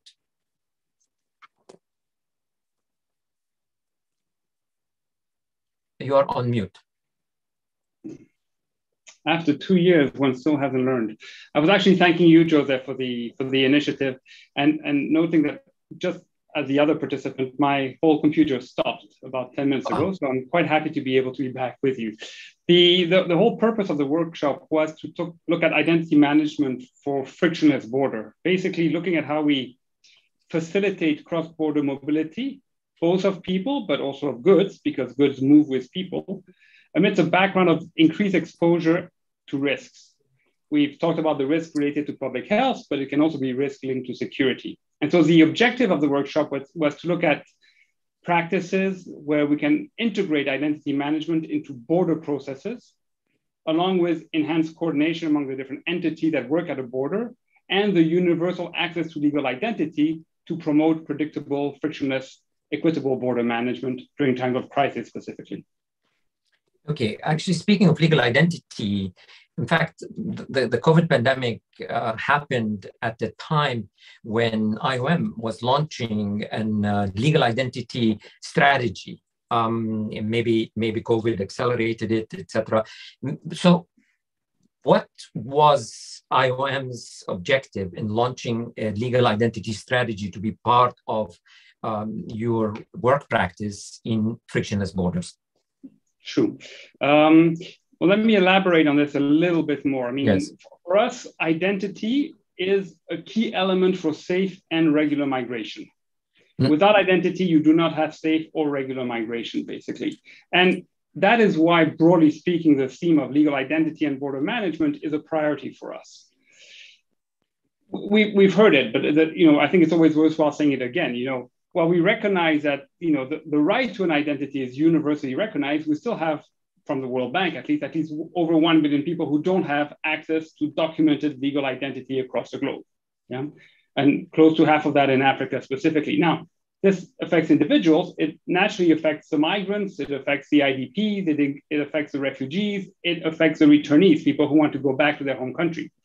And so, for us specifically, migrants who don't have proof of legal identity are increasingly using irregular uh, channels to migrate. And by doing so, they're exposed to increased danger, smuggling, trafficking networks, etc. And even children who are, you know, if they're not registered at birth, we see that they are more vulnerable to trafficking and, of course, vulnerable to being stateless. And as such, the, the universal access to legal identity and to legal identity documentation is crucial for us. And you know, as a UN agency, we always talk about the sustainable development goal and how that is a priority, priority for the system. Now, we've had the workshop, and I'm sure it was no coincidence, on the 16th of June, three months exactly before International Identity Day. And right. there was a call from you and from others to recognize that the SDG objective 16.9 to provide legal identity for all is a crucial one for, for the UN. As a UN agency, logically, we align to this. So for us, not only do we echo this request for you know, the formal recognition of an International Identity Day, but because it's a cross-cutting issue for migration management, because it also fulfills the, the global compact for safe, orderly, and regular migration, especially Objective 4 on legal identity. Legal identity for us provides protection for migrants, it reduces vulnerability, it ensures access to rights, access to services, and if people want to come back, it enables return, it enables readmission. So clearly, it's paramount to us. And the DG then asked us to promote a whole of IOM legal identity strategy, which, as you acknowledged, was, was launched three months ago. And, and it's really important to understand this is, while it's an IOM legal identity strategy, it's also part of our engagement with the UN Legal Identity Agenda Task Force. And yeah. we've been a member, an active member since the inception. And so we this strategy is a further support to the UN system-wide effort to advance legal identity for all. Mm. Uh, I, I, can talk to you about various areas yeah. of focus that we have, but I think that you know I've, I've spoken enough on legal identity. I, I, think we'll come back to that issue. I want to get a little bit more um, context from West Africa from Alvina. Um, Alvina, you're based in in in West African region. You're familiar. You're aware. Um, I wanted to understand how did legal identity in that ECOWAS region, let's say, and the free movement protocol, has it led to a positive mobility or facilitation of mobility of people. Can you can you speak about the experience that you're seeing in the ECOWAS region and in the identity management? Just a little bit to warm up the conversation. Thank you, uh, Dr. Atick. Um, let me start by saying that um, free movement is largely successful um, in West Africa. Indeed, uh, in the wake of the free movement protocol, which uh, dates back to 1979, We've seen that intra-regional migration is very predominant in West Africa with up to 80 to 90% of the migration happening in the region. So intra-mobility involves primarily labor migrants, seasonal and circular movements, movements of students, and family reunification. It is also important to note um, the importance of intra-regional cross-border trade, mostly um, on a small scale, Hence, uh, we see how um, it is an important driver for cross-border movements um, in the region. I could give you uh, more trends of um, the success of intra-regional mobility in 2021. Um, just a few more facts on uh, a report that IOM um, worked on for 2021, a region on the move, where um, we've seen more and more mobility due to labor to um, new, new sources of, of livelihood um, in the region.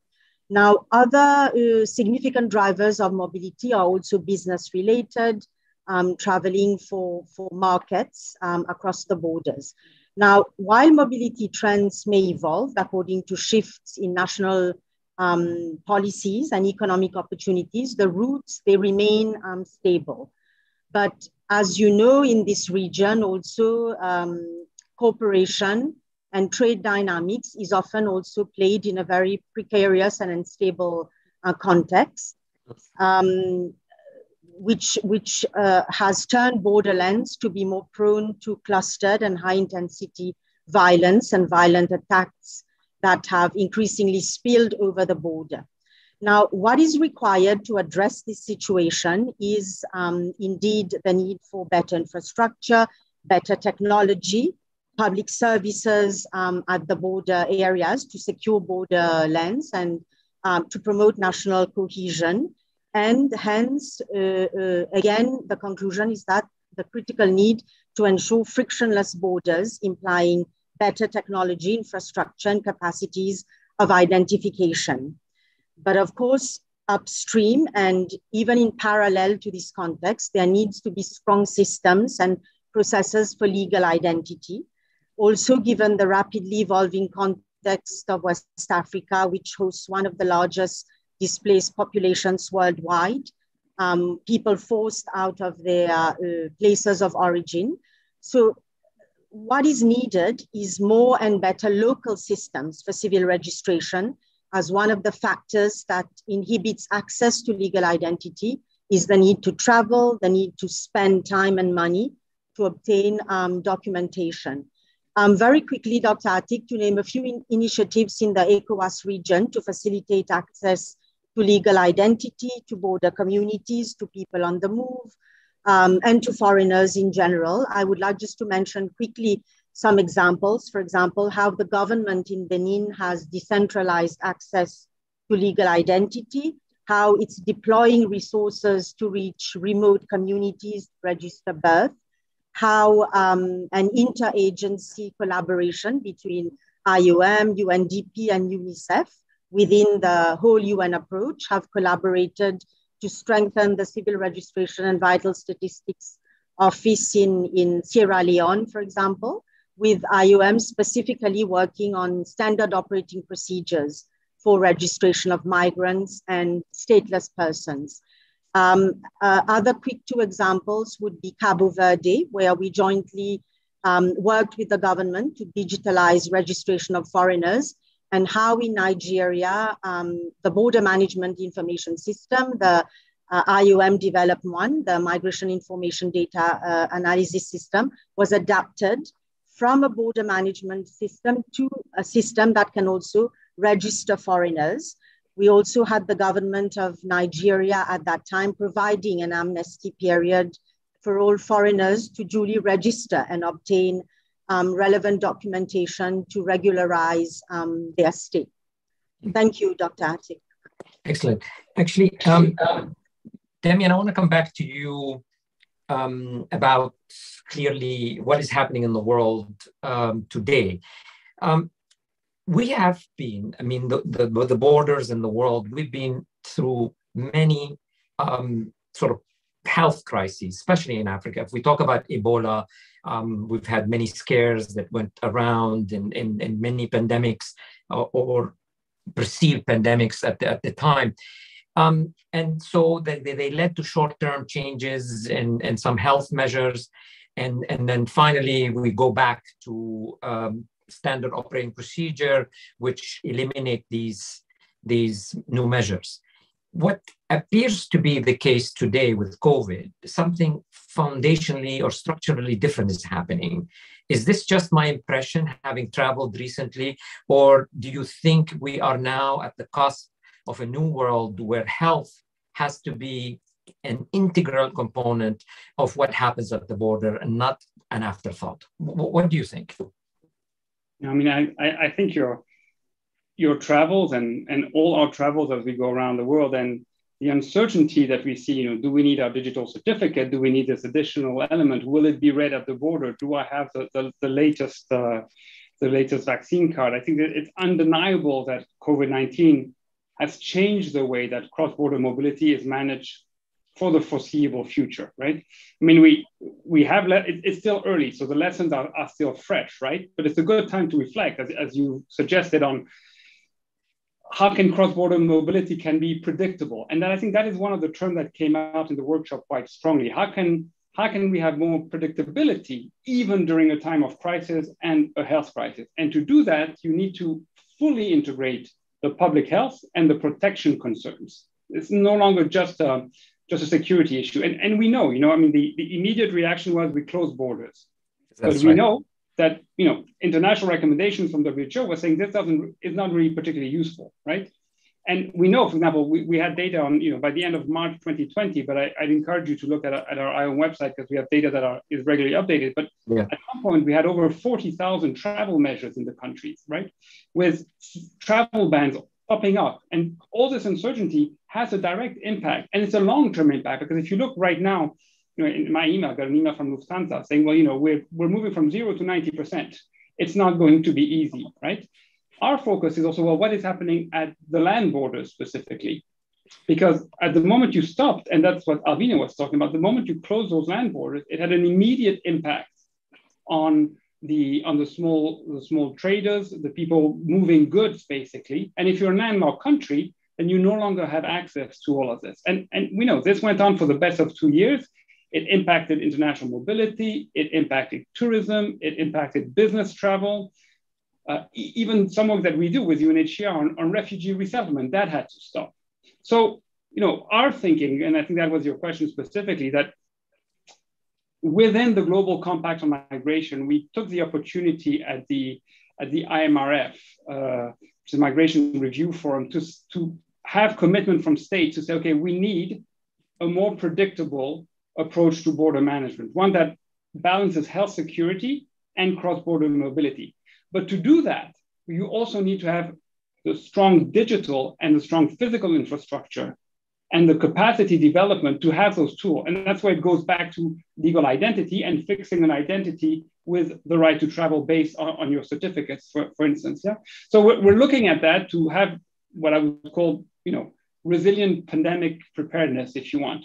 But it will definitely need much more legal identity and the digitalization. And that's possibly another theme that came up in the discussion, the importance of digitalization. We see that countries that were able to provide digitalization support to their citizens, remote support, did better because they didn't have to shut down all government services. Right. Now, th- there is something um, troublesome about, about whenever you have something as traditional and as established as the border management process, with the stakeholders being the immigration, uh, the, the police authorities, uh, etc. And now you're talking about bringing in the health yeah. um, and and being a being an integral partner at the border. Uh, is this realistic, or or are we talking about the the idea that immigration and the police is basically saying, well, give us advisories and we will act on them, or should we see and should we insist on health representations at the border so that the process is is not um, delayed, is not an afterthought? How do you see the integration of the health into the governance of the border? Well, I mean, it's it's on one hand a major paradigm shift, and on the other, it is not, because there has been a call for a long time to have all the government services present at the border. You need the phytosanitary, you need the people to deal with cattle going through the borders, right? You need to deal with uh, yellow certificates, etc. But health was always given the expression that I use, they were the, you know, the kind of the poor cousins of the family. They were right. put aside, had a little room, and that's where you had to do your checks. If we look now at the African Union um, integrated border governance document, clearly what they are saying is that, okay, not only do we need to have customs and, and migration working more closely together, we also need those other actors, including health. And essentially, and we, you know, we had uh, um, hints of that both from Sierra Leone, but also from Kenya, is how do you let go of some of, some of your prerogatives to ensure that you have a whole of government presence at the border. Yeah. And not just for, I mean, not just for control, also for facilitation, right? You cannot have five different stops because you have five different places where you need to show yeah. documentation. That's where the digitization, the integration is going to be important so that you can come benefit from scrutiny of these five services, but either at a one-stop border post or at a, at a single window concept. That's what is going to be important. And the African Union is already promoting that to some extent. I, I know Alvina looked into that as well. Yeah, Al- Alvina, do you see evidence of the the shift in the in the border governance to allow for for more representative integration of the different stakeholders in in the region that you're you're looking at? Yes, thank you, Dr. Atick. Absolutely. As uh, Damien mentioned, this um, integrated um, border governance strategy of the EU that really underscores how policies uh, uh, should be on integration, on trade, on mobility, on human security. Um, mm. Again, this whole of government approach, but reflected specifically um, at borderlands. And um, policies that are taken at institutional level should be um, fully supported to be uh, practically implemented, um, um, actioned at the uh, border areas, which means uh, more integrated border management, whether nationally, but also cross border. We spoke about um, um, the um, borderlands of Africa, the, the, the porosity of the terrains, the remoteness of the borders compared um, to capitals. So uh, uh, how important it is to support borderlands and um, both uh, uh, authorities, but also whether it be local or border, but also um, the communities. So absolutely uh, an integrated approach where uh, uh, all users and stakeholders at a border area are part of border governance. Thank you. Okay. okay. Um, before we bring in the, um, the sort of the contributors to add context and, and local perspective, um, Damien and Alvina, could we sort of run through some of the um, key takeaway messages that you thought came out loud and clear in the workshop? Uh, I mean, absolutely. Um, you know, behind what I had talked about, about, you know, the, uh, the, the frictionless border, the whole element was about legal identity for all, right? And I'll go back to the main point. And so some of the key points that we brought, but of course came out, is that for safe and regular migration, you need identity. Mm. And oftentimes the debate about identity is less so about mobility. So that's one of the angle, logically as IOM, that we're trying to push specifically. And it's not just, you know, it's, it's on one hand the capacity to issue those travel documents, and we have complicated standards that need to be recognized, but most countries now are, are meeting those.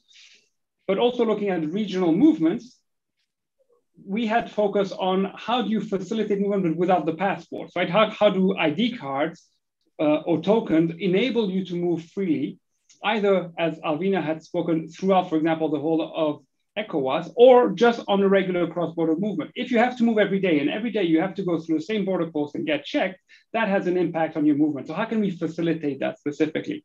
And then, you know, the longer the longer term is those changes that we would make in, in the identity ecosystems have a long-term impact on other sectors, such as security and such as trade. And if we want those, you know, uh, free movement protocols and free trade, those are those are joint saving that will be done by investing in legal identity for all to ensure that the trade movement is facilitated. And, and clearly, you know, the last point that was quite clear is that none of this can be done in isolation, right? You need regional cooperation, you need international cooperation, and you also need the private sector to come in and provide solutions. I, I heard the previous discussion, solutions that are not, um, that, that, are tailored, but meet the, the needs of the requiring country, not that are proprietary specifically. And I think that was a very important point that, that came up on a, on a regular basis, yeah? Um, I, I would want to say, you know, from the countries, if I can say, for me, there, there were two things that came out. Is one, we need to recognize that countries are already trying to address the jointness at the borders. And two, we need to recognize that some countries, such as Sierra Leone, have already gone through health pandemics.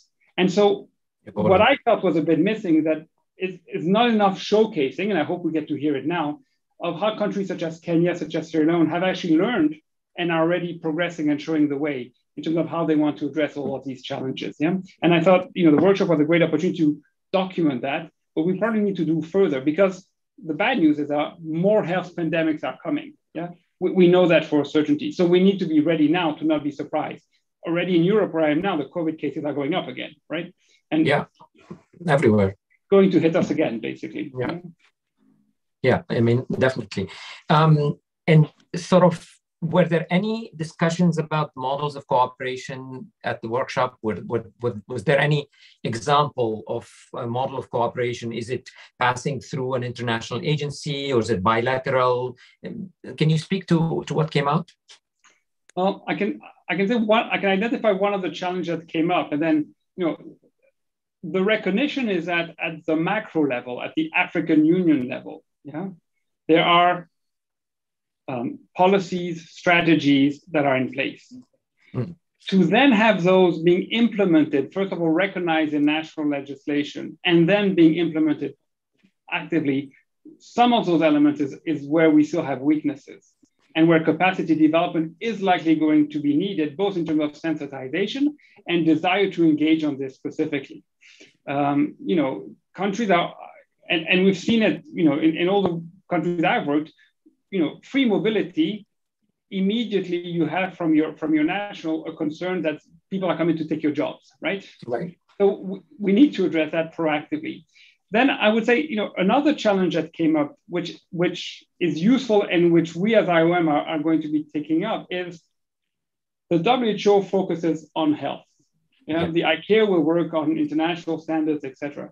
But you don't really have a locus which has the experience of border management and migration health together. And this is where maybe it's very self-serving, where, where as IOM, we don't want to set standards or anything, but we want to make sure that whatever yeah, initiatives and standards come up actually trickles down to the implementation. That's, yeah. that's IOM's value added. It's our footprint. We're in every single country of the world. So that is, I think, where we meet the migration health, the border management under the migration umbrella.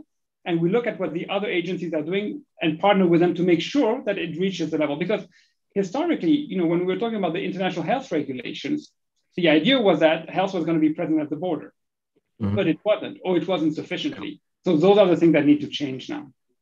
Mm-hmm. And you think this is going to change in a sort of sustainable way and there's no turning back is this is this a, a, a, new norm or are we going to forget about it and go back to the old way of doing things well, I mean, of course, it's hard to predict, but give me your sense. I mean, you've you've seen the borders, you've seen what's going on. What do you think? It has the world changed in a way that's not never going to be the same again?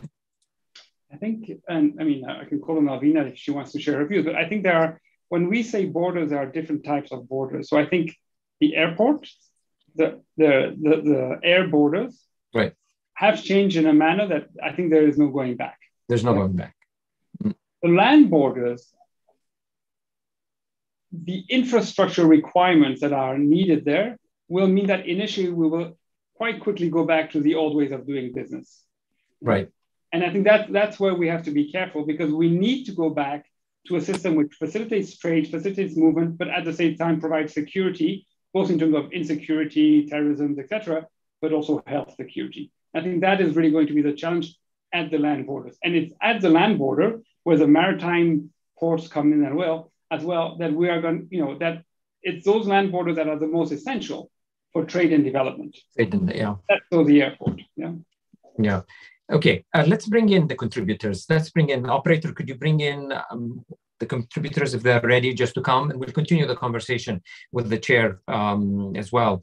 So um, I think we will have Alexander Imbenzi. Um, I will have Representative Rosina from um, South Africa as well um, I think Saadou Cissé from Niger, I believe. Could you please bring them on? Um, I want to ask the, the, um, the, the, contributors to sort of share with, with, the, with us their perspective on how their countries reacted. Let, us start with Kenya, how their countries reacted and how what changes they've made to their border management process uh, in order to maintain the borders fluid, but at the same time protect other countries from the, the issues that the international community grappled with, the pandemic and the consequences of it. So, Alexander uh, Imbenzi, uh, give us the perspective of, of Kenya. How, how did you react? Thank you so much for this invitation, and uh, thank you so much for the very informative uh, workshop we had in Morocco. Now, from the Kenyan perspective, uh, I can start by indicating that uh, already we had a very coordinated approach uh, to the way we manage our borders uh, because the issue of health, which is now key here, uh, we as a country had already incorporated the Ministry of Health as one of the key border agencies. And uh, even now, when we had this pandemic, we had uh, a very organized and uh, coordinated way in which we were able to work together with them uh, to, to ensure that uh, we deal now with this challenge uh, of COVID, which affected us. I think the only issue which we can say that uh, we were able to learn was now how do we also have also a closer cooperation now with the countries actually at the borders uh, because now uh, we did realize that uh, each was having a different approach in, in the way yeah. they were approaching this pandemic. And uh, I think uh, as uh, other countries, we were able to, to learn a lot. Uh, and uh, at time, times came when uh, we had now to sit together and agree on how uh, we need to ensure that there is seamless flow of people as well as uh, goods across the border. And uh, I can be able to report that a, a, lot was learned and moving forward. I think we now have a more better perspective uh, in dealing with such occurrences. And uh, uh, I believe that it is now an issue which we can address in a more better way.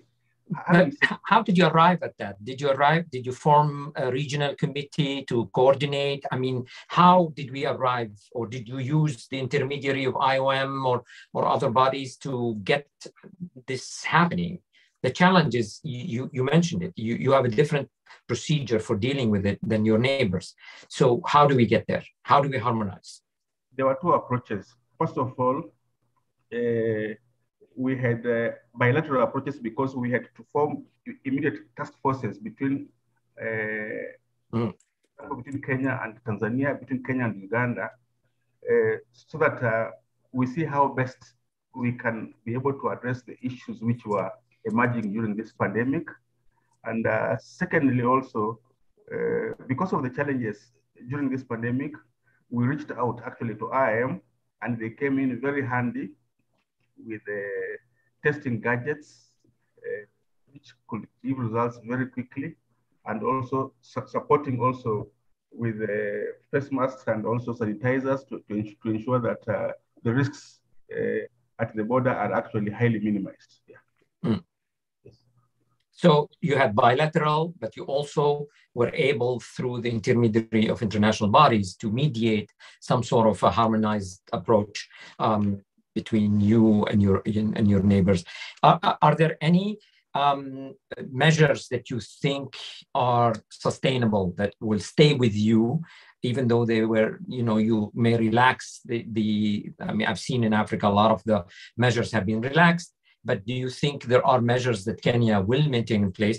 By the way, keep in mind we're coming to visit your country in 2023 for the annual meeting, so we'll be all coming, and uh, you will be giving us visas to everybody. So we would love to know, um, are there measures that will uh, be sustained in place to ensure that your country is, is, is ready uh, for any pandemics or any health crises that come?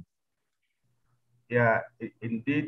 Uh, first of all, we are looking forward for issuing you with visas to visit Kenya. And thank you so much for choosing Kenya as uh, the host for 2023. Uh, definitely, uh, because of the lessons we have been we have been able to learn, uh, I can say that we can now be able to sustain some of the measures which, as countries, we were able to agree and uh, agree on how to move forward.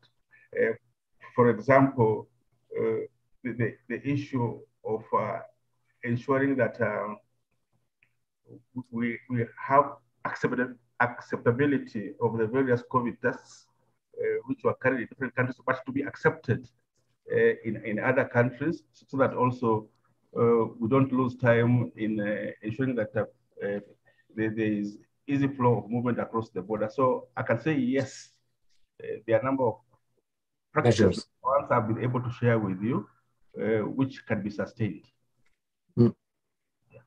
Mm. Okay, excellent. So hold, hold on to that thought. So there has been some fundamental changes to the way you do things. They're going to be there uh, going going forward. Maybe you've upgraded your borders, etc. Um, let me go to South Africa and get the view from there. Rosina, what do you think are the lasting lessons that this pandemic has taught us in terms of the um, the changes to your border management? Thank you very much, uh, Dr. Atick. Um, South Africa, in terms of border management, um, had um, in place an integrated way of managing the borders where of course, there will be a committee from various departments that execute functions in borders. So um, the, the, the country will have national um, um, COVID-19 regulations that of course um, will ensure that all departments um, that execute functions in borders adhere to in terms of how we adhere to uh, border management, uh, um, no, no, COVID-19 regulations. And however, in terms of the end-to-end processes that were put in place, um, it has of course been established that um, having various uh, departments, be it um, health, be it uh, immigration, customs, um, uh, Department of Agriculture, and so forth. So you need, of course, uh, given the pandemic itself, to know which um, department um, uh, that needs to um, be the first in, in, in, in the ecosystem as far as processing goods and passengers are concerned in, in our borders. So previously, you'll have, of course, immigration being the first entry or the first point of interaction when coming to processing passengers at land borders, um, as well as, of course, at air and, and at sea borders. But however, given the pandemic, it was established, of course, that it should be, you know, health that should be the first point of interaction. So that is where our uh, end-to-end process has, of course, changed as far as, you know, um, end-to-end process in, in our borders are concerned. And then, however, managing the borders as far as infrastructure is concerned, um, it has also always been established that we need to have all this department in in in in, um, in our borders. You know, be it uh, three types of, of borders: land, air, and and as well as sea.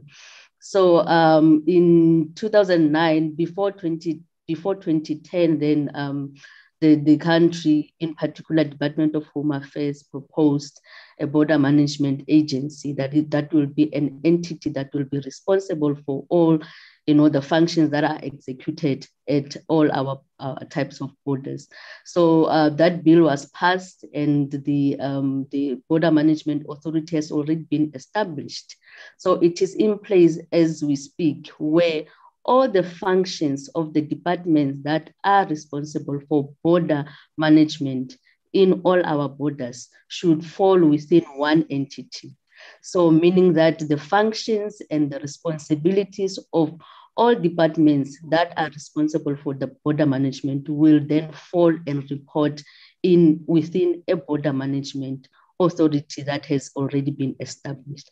So at this point in time, what is happening is that we are busy um, dealing with issue of categorization of ports, whereby we'll be able then uh, to ensure that we are categorize our ports so that we are able to determine you know, um, the, the, the, types of ports and the types of, you know, um, uh, human resource that should manage the port, but then all the uh, personnel, the functions, the responsibilities from various departments will then be transferred to the, the border management agent so that they can report only to one agency moving forward. Rosina, this yes. is very interesting. So, so so this is a new agency that uh, South Africa has put in place, apart from Home Affairs, to become the responsible for the borders and will be uh, taking with it some of the personnel that were in different sectors that were focused on, let's say, different verticals to the management of the border. So you, you've created now uh, an organization which is an integrated organization for border management. Is that the view? And, and is that is that uh, your assessment this was needed in order to deal with the complexity that, that resulted from the pandemics? Or what, what led to you taking that decision? Some, some countries create a matrix where they say well we'll have an authority but they will have no staff. They will be seconded to it as needed etc you seem to be talking about something very different. What, what motivated it if you may share what motivated um, the decision behind this um, was the fact that our borders became porous um, after democracy in 1994. And um, we were, in terms of coordinating um, um, the functions at the airport, we are not, uh, or at our port, we are not able to can find you know, um, solution pertaining to integrated functions, you know, be it um, the, um, the resources that we have to put in place uh, pertaining to health, and resources that we have to put in place pertaining to immigration, to custom, and so forth. So if then we have to have multiple agencies having to report to activities that are executed at our ports, then we have a, a, a, difficult situation in having a consolidated report or response in, in, in those particular areas. So for us to be efficient and effective in managing borders, you must have one entity that will respond to issues emanating or challenges emanating from health, challenges emanating from custom, from immigration, from um, agriculture, and so forth. You know, and as well as having you know an infrastructure that's that is that inter- integrate activities you know that that should be executed by uh, various agencies you know so in some our some port you'll have you know all the agencies in one building and in some port you'll have you know all uh, some agencies in various buildings. But then at the end of the day, you are unable to coordinate the functions that are executed, you know, by, by these agencies in right. one order. So what was very important for the country was to ensure that as much as we want to have, you know, an understanding with regards to our international migration, both domestic and international, we really need to have one agency that will be able to um, assist the, uh, the country in determining, you know, um, or in providing information pertaining to the level of international migration and as well as the, the um, infrastructure that we have put in place to ensure that our borders are efficient as much as possible. And we are also able to, um, my apologies, we are also able to account, you know, for the in and out migration because of we, we, we, we, we acknowledge that, you know, um, population increase as a result of, of, of, of both, you know, net um, uh, birth and net migration. But as a country, we cannot be in a position where we, we are unable, you know, to uh, explain the element of net migration in our country based on the fact that we don't have integrated way of managing our borders you know in, into one integrated system. So one integrated system will assist the, uh, the country in ensuring that we manage our borders efficiently and we are able to account as far as in and out migration is concerned. And we are also able to account on the growth of our population with regards to whether it, it's increased as a, as a result of net migration or as a result of birth. So that is actually um, the reason why, you know, um, this idea or proposal came into effect in terms of, you know, who should be accountable. So you will have a lot of, you know, um, challenges, a lot of complaints, but then um, you most of the departments will not know which one should respond to what. But then if ever you have one, you know, entity that is responsible for all functions, then you'll know that you'll, you'll find an answer in one entity. So those will be integrated in one border management authority. Hold on to that thought, Rosina. I want to go to Damien. Damien, what do you see the trend in, in, in, in, institutional arrangements? Do you see the trend heading towards more and more of the South Africa change where they basically have one uh, integrated organization that just charge end to end with all aspects of the process? Or do you see a matrix solution that's emerging? Where, where are we? Do we have enough data? Do we have enough trends that you've observed that you can answer that question? Or maybe Alvina from, uh, from the ECOWAS region. Uh, why don't I let Alvina focus on the ECOWAS region? From, from, where I sit, I can't say that we have the data. What we do see is that in our interaction with national authorities, this request is high up on their priorities. Right.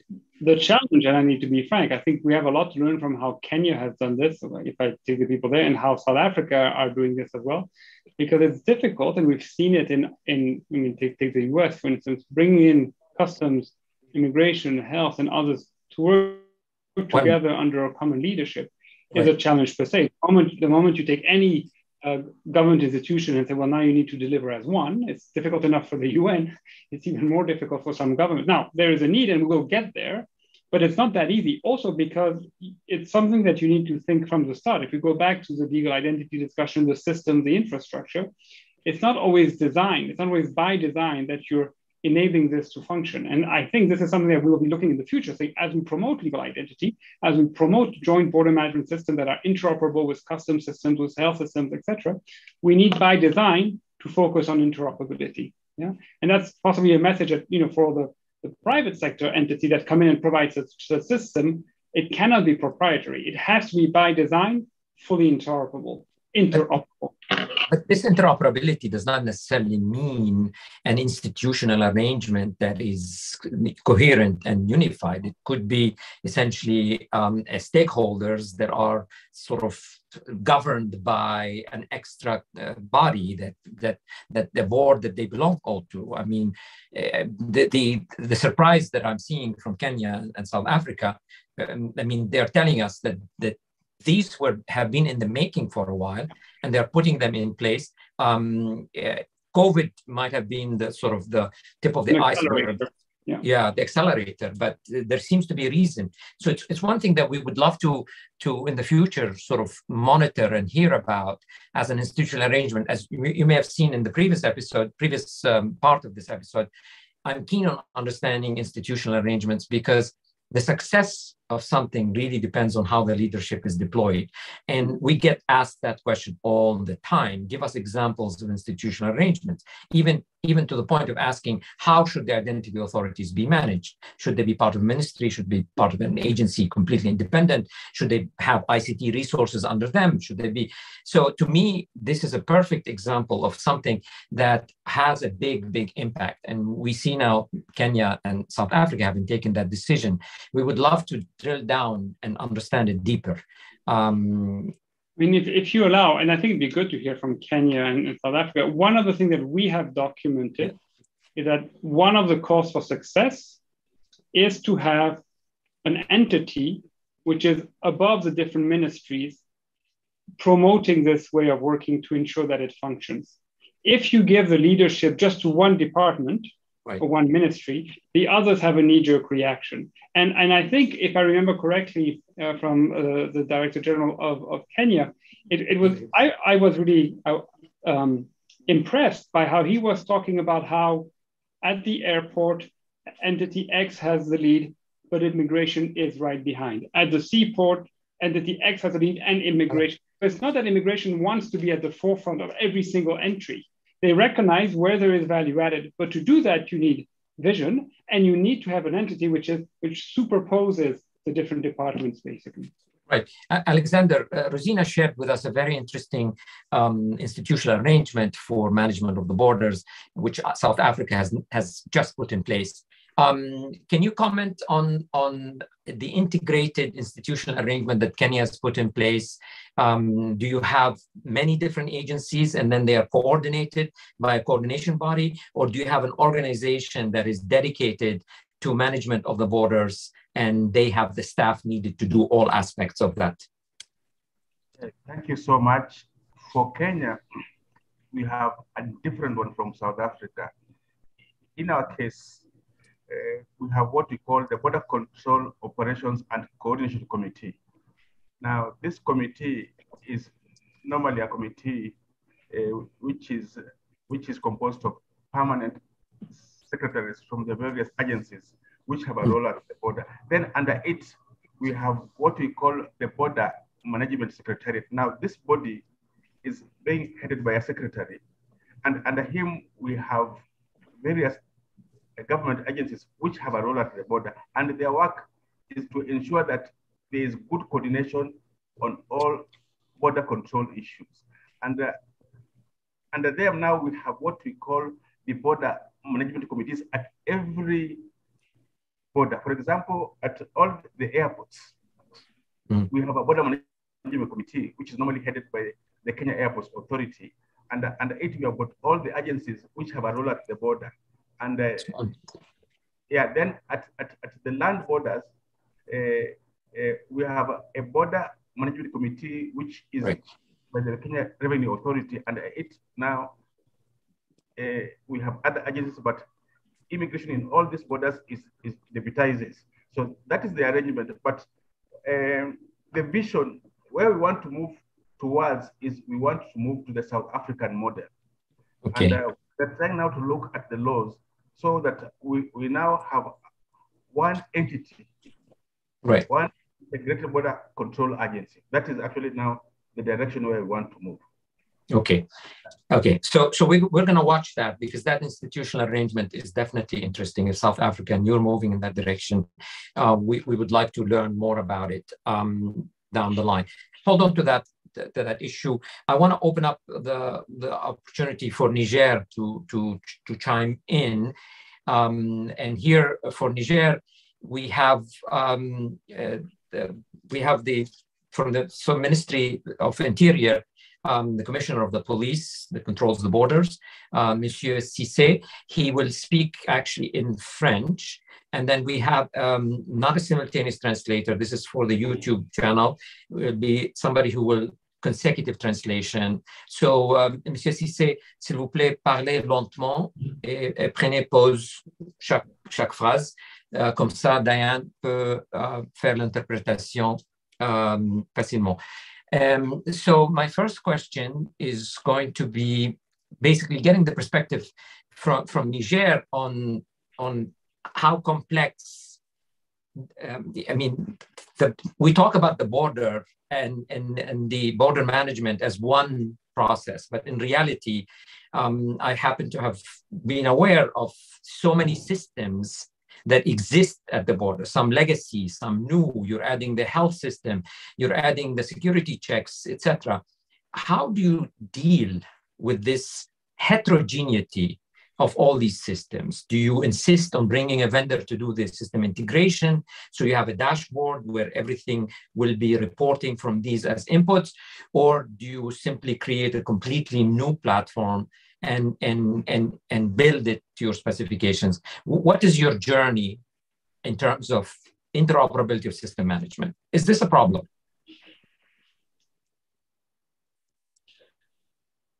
Uh, um, merci beaucoup. Euh, merci, euh, docteur Atik. Bonsoir à, à tous.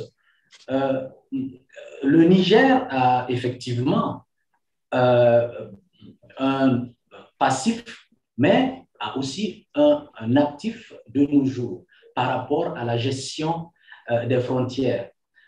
Des frontières, la friction euh, fronta, fronta, frontalière, si je peux dire, parce que très tôt, le Niger a vu qu'avec l'évolution des nouvelles technologies de l'information et de la communication, beaucoup de secteurs publics euh, comme privés d'ailleurs, s'en sont appropriés pour améliorer la qualité de la vie des populations, en rendant les secteurs publics euh, beaucoup plus efficaces et très accessibles.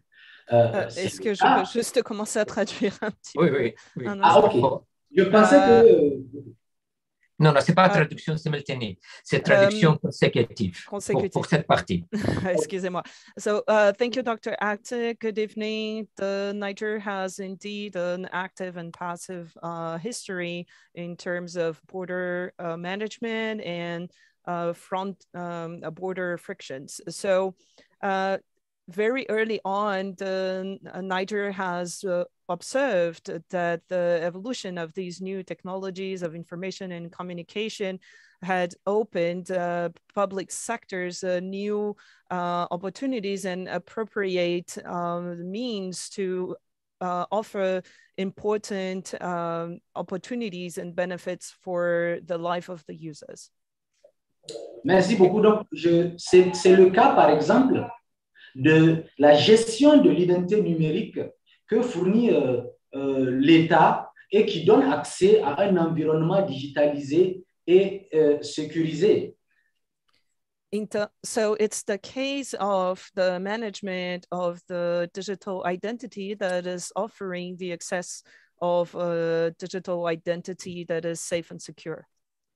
Cela répond à une volonté et un besoin des autorités nigériennes améliorer les capacités en matière de gouvernance électronique, de communiquer en ligne plus efficacement avec à l'interne la question du docteur Attic, c'est-à-dire entre les différents acteurs qui sont sur le terrain par rapport à la gestion des frontières. Um, Vous voulez que je reprenne? No, c'est bon. uh, so uh, this answers a need that is uh, both uh, um, a will and uh, also um, strategy as well of uh, will of the and strategy of the government to improve digitalization and improve the communication internally. And this also has to do with the question of Dr. Atick uh, regarding uh, how do we get the different players to communicate between them and to collaborate uh, with these uh, within this border management. donc, cela a été beaucoup plus euh, axé ou bien a été beaucoup plus développé dans, en, 19, en 2015 suite à l'explosion de la migration irrégulière vers les côtes européennes et surtout le développement exponentiel de la criminalité transfrontalière organisée autour des frontières nigériennes et bien au-delà. Um,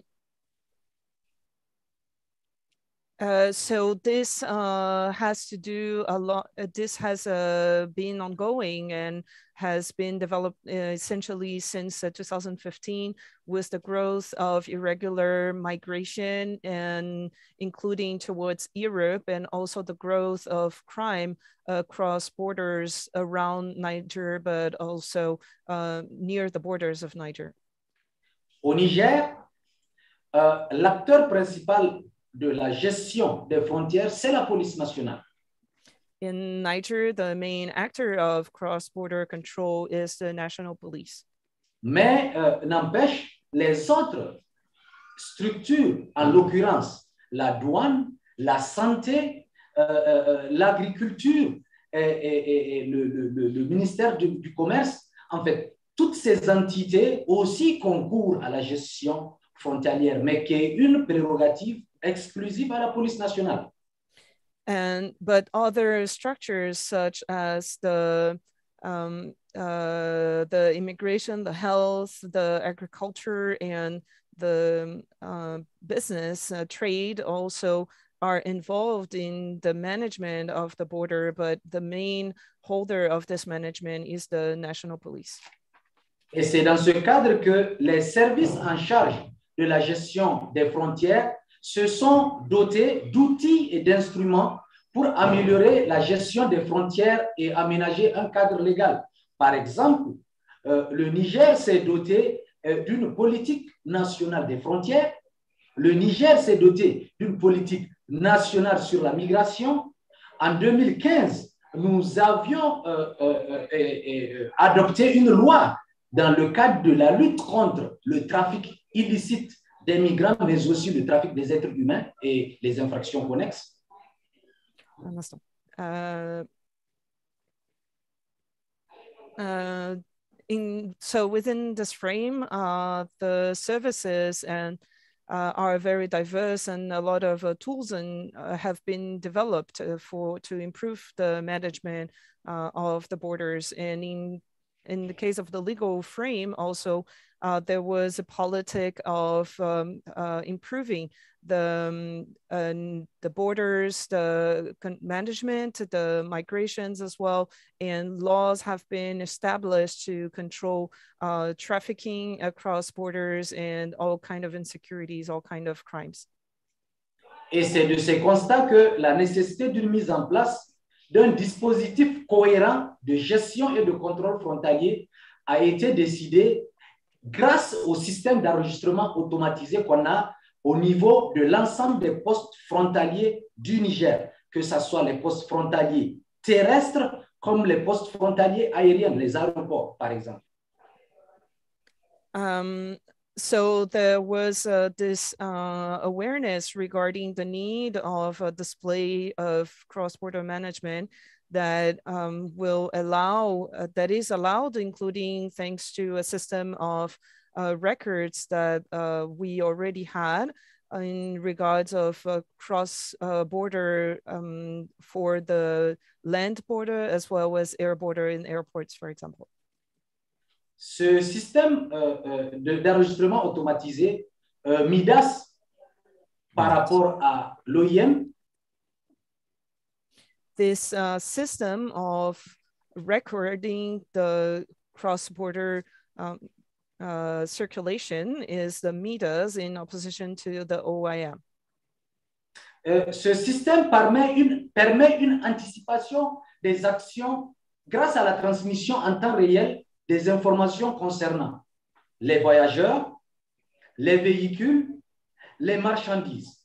C'est-à-dire, donc, vous le voyez, euh, beaucoup d'acteurs ont euh, leur place dans ce système ou bien peuvent avoir accès à ce système pour, euh, en fait, faire un travail collégial.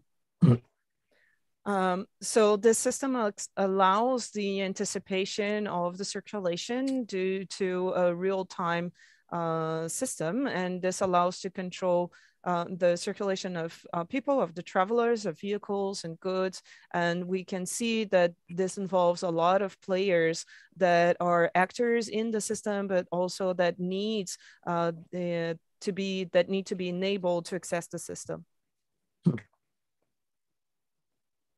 Oh, the, just a petite seconde. Um, Damien, this is an IOM system, Midas. I wasn't sure what, what he was Le système euh, d'enregistrement automatisé qui est MIDAS, c'est un système que l'OIM a implémenté pour le Niger. Oh, mais, mais c'est disponible pour, pour tous les pays? Qui peut être disponible maintenant, actuellement, le MIDAS est disponible dans 20 pays euh, du monde. Okay. The MIDAS system uh, was implemented by IOM uh, for us, this uh, automatic uh, border automatic registration system, and it was also developed and made available for other countries. Actually, Damien, describe it a little bit quickly. No, I mean, my aim is not to be promoting MIDAS. We're not in the business of selling MIDAS, but we, we have a border management information system, which is going to be rolled out in, I think now it's over 24 countries. It's heading to 33 countries the last time I looked basically um, doing what a border management system should be doing. You know, it scans your documents, uh, checks it with national alert list, checks it with Interpol. And in Niger, the interesting part is that there's an American system called Pisces at the airport. The land yeah. borders are managed by IOM, and the interoperability of the of two of them also talking to the Interpol is one of the beauty of the Niger system. Basically, how different systems can work together.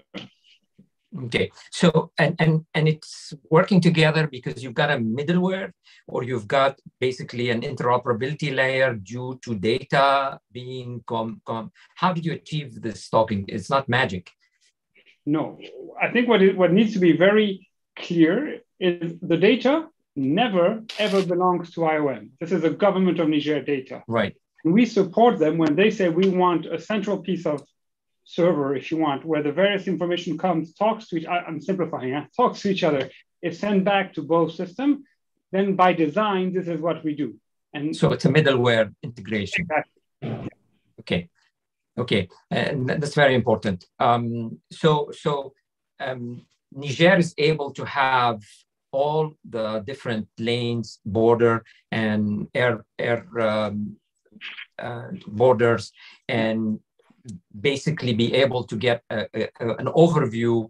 And and but also what i heard here is that this is not a single uh, institution user. There's a multi-stakeholder. Each of them have a role to play in that platform. So i want to say yes but i think it's i'd rather leave it to niger, uh, niger. commissaire Cissé, je crois que vous comprenez parfaitement la question, donc je vais vous laisser répondre.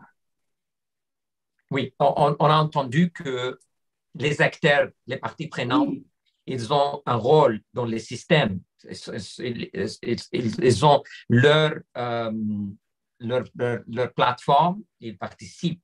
They, they, they participate in the MIDAS as, as users with specific roles and responsibilities defined by different uh, organizations, health, uh, police, customs, etc. Am I correct in saying that?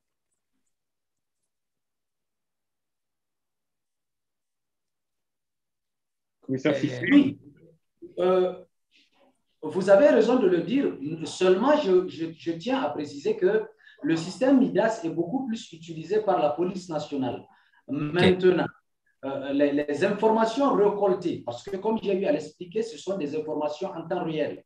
Euh, yeah. Donc, si un autre acteur a besoin, par exemple, au cours de cette année, juste en deux, le, le, premier trimestre de, ce, de, cette année, nous avons eu à retrouver une bonne dizaine de véhicules déclarés, volés, euh, que ce soit au Niger ou ailleurs, parce que ce système interagit presque au, en temps réel au niveau de l'ensemble des frontières. Okay. Let, let the translator translate, please. Uh, yes, you are right to say that, uh, but the MIDAS uh, here is essentially used by the national police it, as I mentioned, it uh, gathers information in real time. So if another actor from the ecosystem needs the, the, information, we can act. For example, in the first trimester uh, of this year, we had 10 vehicles that had to be found because they were stolen. And we were able to have all the borders interact to be able to find uh, these informations. Okay. Okay, so this is the power of of information systems uh, deployed at the border. Let, let me ask you just one quick question. What would you say the one lesson that you've learned from the COVID pandemic in management of the border? Is there an important lesson that you can share with, uh, with our... Uh, quelle leçon vous avez appris euh, de pandémie de COVID, du COVID? Euh, le, le, cas du Niger. Oui. Euh, la, la COVID euh, nous a permis euh, de, voir effectivement euh, cette, au niveau des frontières, d'accord, que la, le contrôle frontalier est primordial et important. Parce que c'est pendant cette période où, normalement, avec la fermeture, vous le savez bien, des frontières, que nous avons, en tout cas la police a eu à faire beaucoup de saisies de saisie de, la, de, de drogue, que ce soit euh, la chambre indienne, comme aussi de drogues dures comme la cocaïne. Mais c'est aussi pendant cette période qu'on a pu faire le contrôle de beaucoup euh, de, de, de, migrants et surtout de trafiquants de migrants. Mm. Et tout cela, tout cela était dû au fait des systèmes de contrôle, des systèmes de gestion intégrés qui étaient au niveau de ces postes frontaliers. Okay, Dan? Um, yes, so uh, in the case of uh, Niger, COVID allowed us to see that the border control was a very important but also essential factor. The uh, police, by closing the borders during the COVID, has been able to hold on even other factors such as drugs. So they have been apprehending uh, hard drugs like cocaine but also a lot of migrants and uh, traffickings of migrants. So this has shown the importance of uh, international uh, border management. Okay, let, let, thank you. Let's take a short pause and go to some of the community voices that have joined us. I'll start with Mark. Mark, you, you joined. Please state your name, your organization, and your question or comment. Yeah, hello. This is, uh, thank you, uh, Dr. Atick, for giving me uh, the opportunity to, to talk. So I'm Mark Lippers. I am the, one of the founders and the chief technical officer of Copernic. And we are a company specialized in mobility. And uh, this is really the point I want to make uh, right now, uh, because we know that we have uh, beautiful systems uh, that works for the airline industry, like uh, API PNR. we also have systems for uh, all the ships and so on. So maritime is, uh, is working quite well and is moving towards uh, API PNR as well. And we have uh, fixed land borders that are uh, really good and connected and starting to be uh, as connected as possible. And we have beautiful systems really.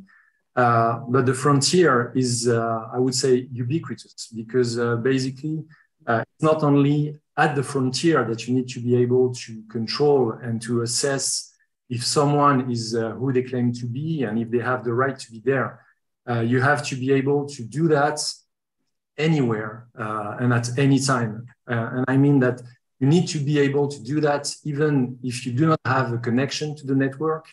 and even if you do not have a, a connection to, a, to a power source and so on. So uh, my point here is really to, to say that we need, as industry representative, to understand uh, how we can provide tools, mobile tools, uh, to be able to control identity, to make sure that the person is who they claim to be, and also to be able to control if they have the right to be there or if they have the right to do what they are doing. And this is a, uh, this is a, a bit what uh, Mr. Cissé said about the, the fact that many different um, agencies need to share data and to provide uh, control tools. So, I mean, the, the challenge is the lack of infrastructure. I mean, at the end of the day, you are talking about the fact that um, no two points in a border are alike. I mean, borders are formed by natural boundaries and sometimes man-made boundaries that have made them even unnat- more unnatural than they are. And the question becomes, um, is there effective paradigms of, of border management um, with minimal infrastructure? Um, obviously, mobile devices are, are key to that. But data is the heart and soul of, of border management. And, and if we don't have connectivity, um, I mean, making decisions on the spot becomes a, a, big, big challenge. Are you aware of, of environments where border management is running on a, on a USSD channel uh, or, or uh, through SMS? Or are, are, we imagining situations where those borders are hopeless? You can't, you can't manage them? or is something we can do offline? I think we can do a lot offline. Uh, as long as people can have documents that we can control, that we can uh, check in terms of um, are they issued by the right authority? Are they real? And is the person who's holding the documents uh, the, the real person? And then we can look at visas and all of that should be able we should be able to do that offline if you can do that uh, already uh, that's uh, something that uh, is very very useful um, but now when you have no documents and, and i'm just thinking about the trend that you know uh, all the identities should go digital and no documents and no nothing i think there is a point where uh, you cannot really achieve connectivity anywhere and so you still have to have some something, some credential that uh, allows you to uh, to express who you are and that you have a real document. And thank uh, you for, for reminding us about that. In fact, this is an important topic that we will need to address going forward, which is the offline identity management in no matter what, uh, whether it is in a, in a, border or even in any uh, service delivery for social protection programs. Uh, there are remote areas where there's just no way you're going to be able to establish the, the authenticity, etc. So we need to fig figure out offline identity management within risk models. I don't know if anybody on the panel has anything to add to this, or we can move on to, to Pam. Um, I'll be really, yes. I would agree. Where we operate are usually in the most remote areas where there's no electricity, there may not, not be coverage, etc. Although, granted, coverage is coming in most places. It's not that difficult to have a system that uh, to have an offline system that checks whether the document in front of you is valid. What I see for me, there are two challenges. The first one is what you raised about we need to ensure people have credentials, not just because we need to check them, but people actually like having credentials. And I think it's important to remember that. They like to have a paper to be able to show. That's the first thing, we need credentials. The second thing is we need clear, at least either regional or African wide, and I think the World Bank is working on that. We need clear standards for those for those documents and those credentials. Because if we end up having different credentials at different places and no capacity to verify them offline because they have different credentials, different standards, that becomes problematic. Yeah. So we need credentials, we need standards. And then whether we're offline or not, we have system where we connect, and then when we have connectivity again, everything gets uploaded, downloaded. But that's the reality of the work, basically. Okay. Okay, thanks. Thanks for this point. Mark, thank you for reminding us about that. Uh, Pam, let me go to you. Oh, well, first, thank you so much, Joseph. And I was so pleased uh, with the conference in, in Morocco. So I was a participant in workshop two. Um, so for me, I'm the executive director of the World Privacy Forum. I also co-chair the Research Academic and Technical Network at the World Health Organization, where I also participated in their rewrite of their data protection principles in 2020. So I wanted to first um, affirm um, all the things that Rosina said. She made one of the most important, probably the most important intervention in the entire workshop in her discussion of an integrated ecosystem level approach to the border management. I uh, something that Rosina did not say on this um, uh, livecast is that she has very advanced degrees in statistics, so she understands the ecosystem, she understands the data, and she has the capacity to analyze very extensive and complex data ecosystems. This is really an important factor and I wanted to bring it forward. And Joseph, you touched on that by saying that it's really about the data, and it is. At the end of the day, we've got an ecosystem, a very complex ecosystem with lots of data. We need all of the actors in that data ecosystem to make it function well. So the stakeholders I would add would be uh, we need civil society stakeholders. We, we actually need private and public sector stakeholders within the public sector or government stakeholders, it is absolutely essential that we have um, health stakeholder stakeholders as well as the legal stakeholders, which would be the data protection authorities, but other st- legal stakeholders as well. We must have the national statistical offices as well. So it's really a whole of government approach. And I really like what South Africa has done placing a whole ecosystem, but in one space. So there is a whole of government approach, but a unified central access point. I really like the solution. I know it has to be adapted for other contexts, but I think it's really important.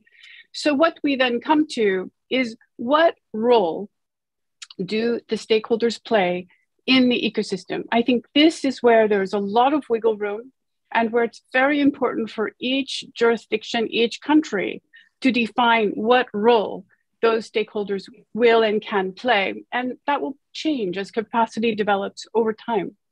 Um, and then just, and I just think that's really important because that's something that does not receive much attention. What are the roles? What are the functions of these different stakeholders?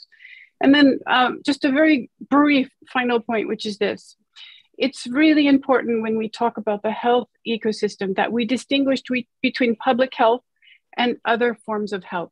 So health data ecosystems, we can think of them as a giant apple or pie.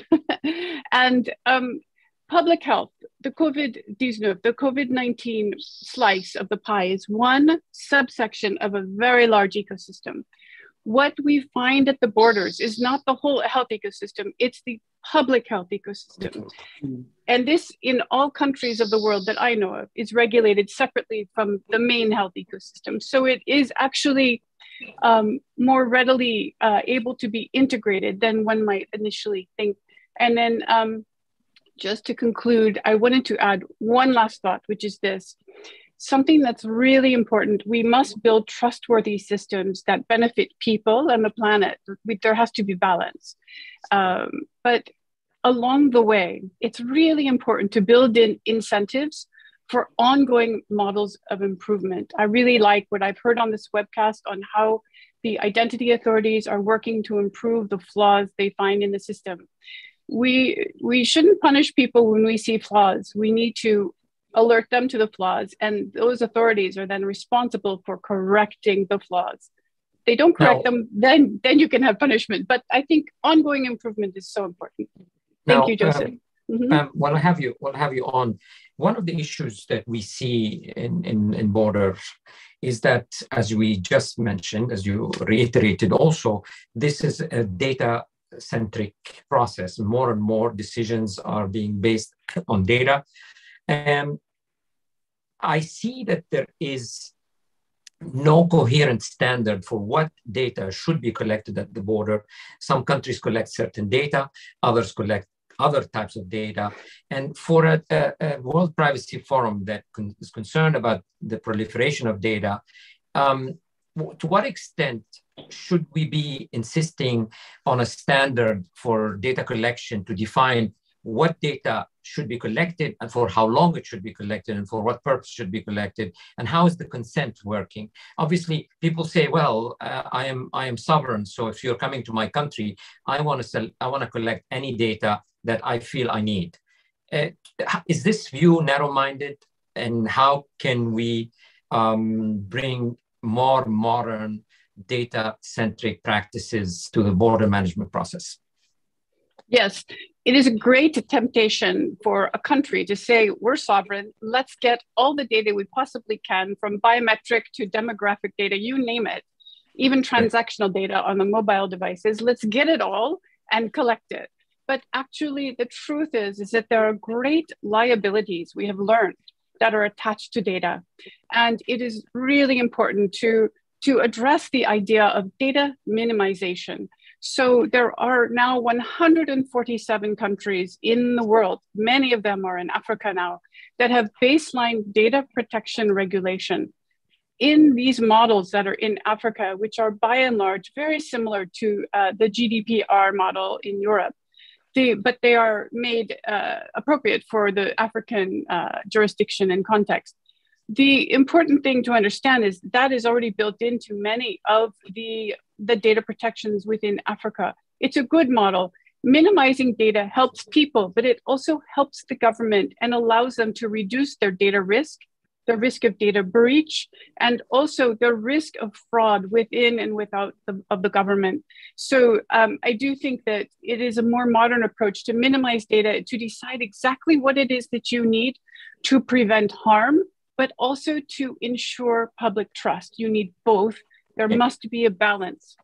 So, so I think this is an important objective um, for the borders, which is is not free for all. Uh, I think you could do it and take all the data you want, but you are opening yourself to a, a, bad image, or you're opening yourself to certain liability if you just simply collect all the data that you want that is that feels invasive. And so, um, good point. Um, minimize the data to whatever you need in order to run your business process and including whatever you need to protect your country from any public health issues that would, would arise.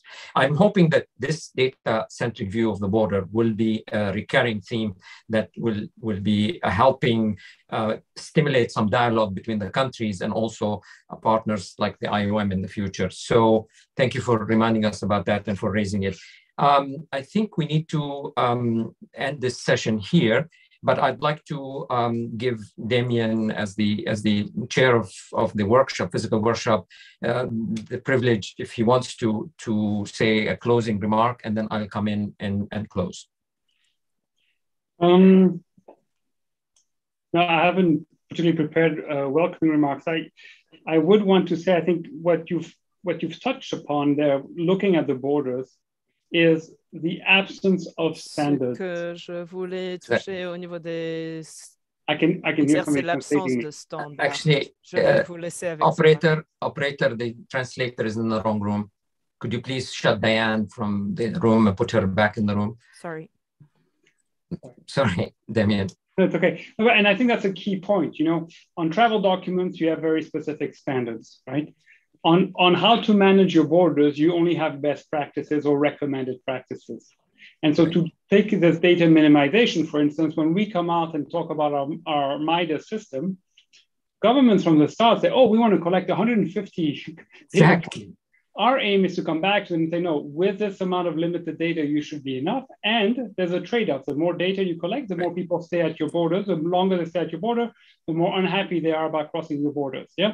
And if you've just traveled 12 hours, you don't want to wait two hours in line because somebody's collecting too much data. So, but the important thing is we don't have something to point to and say, you must do this. The only thing we can say is this is a good practice. And I think this community where we share good practices is how we can influence our member states yeah. to say you are sovereign, you need to reflect upon this. And based on this, you need to make your decisions. Yeah. And from our side, the new challenge is how to do this when it was border management in normal times to now border management in crisis time, where we can make mobility more predictable. And I think that will be my my concluding remarks on the challenges ahead of us. Yeah, and and and just just to um, finish on the data point, um, often the data protection laws are actually not uniform in the sense they don't treat collection of data of, of, of residents the same way they treat to visitors. They allow themselves what they don't allow for their own residents. I, I know the US, for example, has a different standard for what they what they collect uh, for the people who are coming into the US. They do take biometrics for visitors, which they don't dare to do with their own citizens, etc. So we, we need to be consistent and we need to understand that data it has a double edge. And so we'll, we'll, we'll, revisit the subject at another time. So I want to thank you so much. Thank you to the IOM. Thank you to the contributors for animating the uh, workshop. I think uh, there's been a lot of interesting points that have been raised. We look forward to continuing this journey in a, in a working group and continuing to push this, this process forward. Um, um, so thank you. And um, one last thing. So, operator, uh, we can thank the this the panelists and take them off the stage. Um, so, I want to remind everybody that this Thursday we are going to continue this um, summary of the workshops with workshop three and workshop four. Workshop three is a UNICEF chaired workshop and it's highly, highly focused on a very specific problem, which is Mission 100. How do we achieve 100% um, universal birth registration? Uh, when we're looking at the, where we are in many countries, we're far from that. So we're going to look at very specific recommendations that move the needle, that have an impact. And the objective of this workshop is to take those recommendations and, and, and give them as an input to the upcoming um, ministers in charge of CRVS coming up in October. So we want this continuity of engagement to take place, and we will be doing that uh, through, through the workshop number three. Workshop number four is also a very, very important workshop, which had to focus on basically how do we know uh, that identity systems are achieving their objectives and, and, and, and actually delivering value to society. So we can, we can um, communicate about them, we can have transparency about them, and we can also monitor and evaluate so that we can continually improve them. There's a lot of interesting lessons there, but also the World Bank has prepared for us a, a very special um, presentation to give us guidelines in terms of how to, to deal with the communication aspect and the monitoring aspect and evaluation aspect of ID systems. So we'll be seeing you in, in two days. So please um, come back and let us uh, engage in that discussion. Thank you again very much for being with us. Thank you very much.